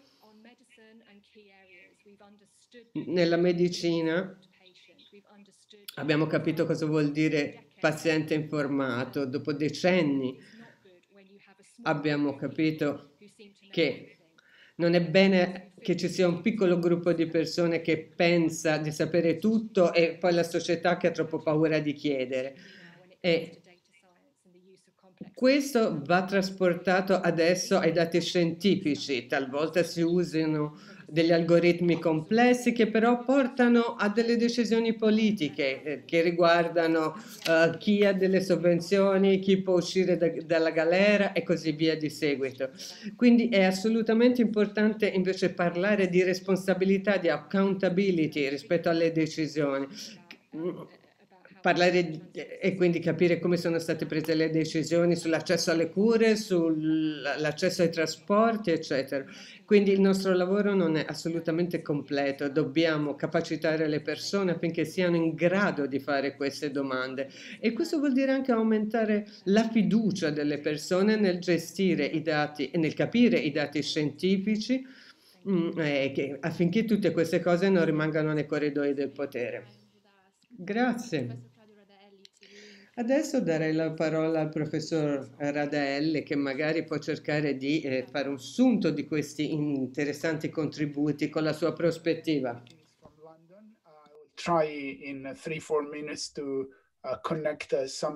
Grazie, saluti da Londra. In 3-4 minuti cercherò di fare un riepilogo di questa uh, sessione.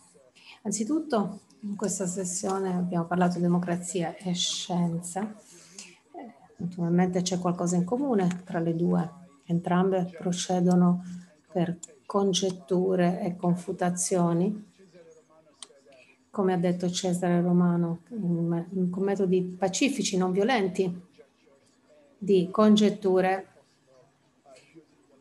e possibilmente utilizzando anche gli strumenti giuridici, le norme, eh, come fisiologico che sia in una democrazia.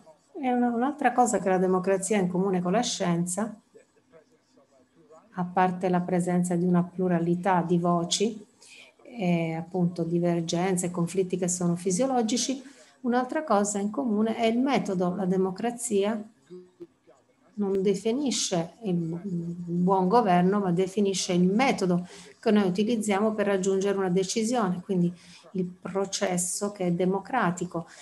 È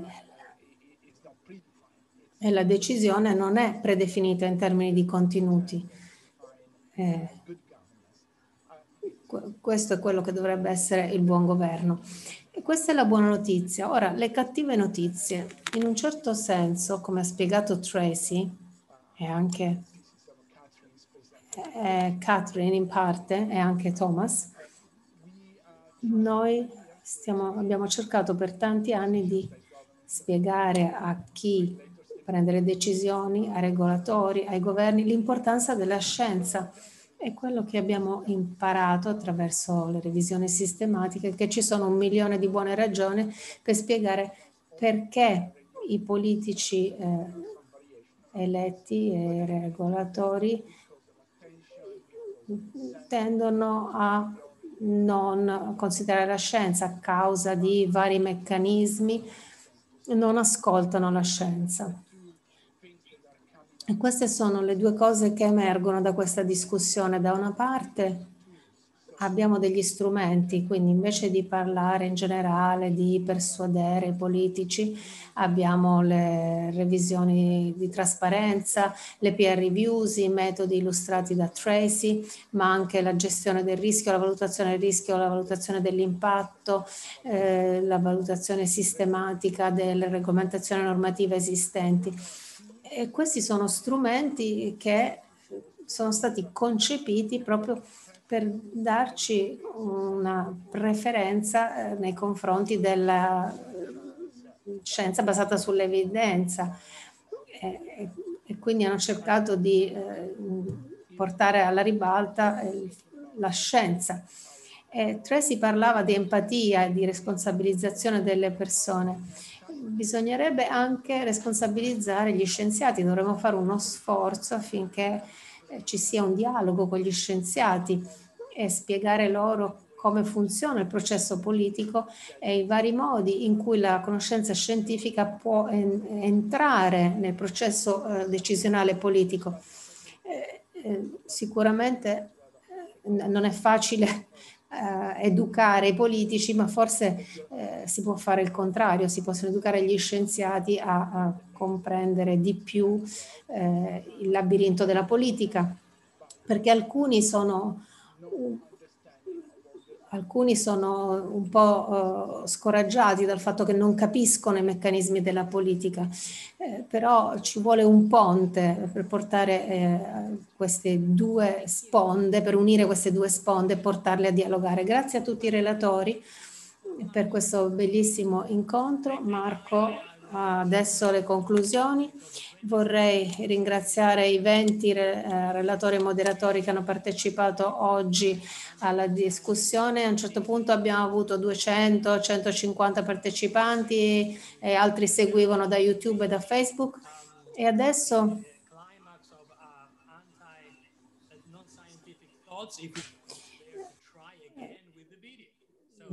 non potremmo dimostrare la nostra antiscientificità se non tentassimo di farvi vedere il video.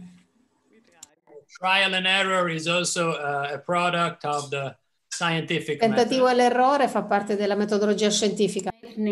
Care nazioni delle Nazioni Unite, immaginate un mondo in cui la potenza elettrica non è una potenza per tutti? Oggi la potenza viene dalla ricerca scientifica in temi diversi come l'intelligenza artificiale, la biologia molecolare. Abbiamo la conoscenza, le risorse, la tecnologia e le capacità per affrontare quasi ogni problema sul pianeta. L'unica cosa che manca è una coscienza collettiva, la volontà, grazie alla Dichiarazione universale dei diritti umani, la vostra dichiarazione, l'umanità ha un diritto umano alla scienza e ce l'ha dal 48 e anche le donne per affrontare il presente del mondo, i problemi della nostra vita, come le fake news, il cambiamento climatico, i nuovi virus e malattie, l'intelligenza artificiale, l'energia pulita, l'editing genomico per gli esseri umani e la biotecnologia verde devono essere una possibilità per tutti. Puoi accettare un mondo per solo pochi? Esigenze cliniche non soddisfatte e, e nuovi virus richiedono investimenti nelle strutture mediche e, nel, e nella ricerca e la cer- libera circolazione degli scienziati e della scienza. Il mondo è uno e non è mai stato così piccolo. E l'intelligenza artificiale non dovrebbe solo aiutare i governi a controllarci meglio, le aziende a migliorare i loro fatturati, può aiutare anche le persone. Ogni giorno, ovunque, ogni uomo, ogni donna, ogni ragazzo, ogni ragazza hanno il diritto umano fondamentale di godere, di godere dei benefici della scienza, dei suoi progressi, delle sue applicazioni. Care nazione, siete state fatte da noi, per noi.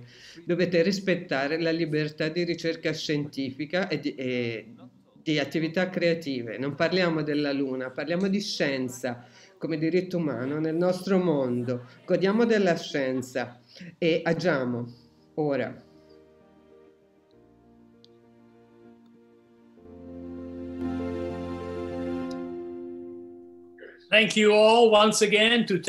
Grazie a tutti. Se volete impegnarvi, firmate il nostro appello. L'appello lo trovate sul sito sciencefordemocracy.org. Eh, una volta concluso questo seminario ci sarà eh, la registrazione che sarà messa sui nostri canali media eh, per condividerlo con amici e parenti. noi speriamo di continuare sia la discussione che l'azione in futuro. Grazie, arrivederci.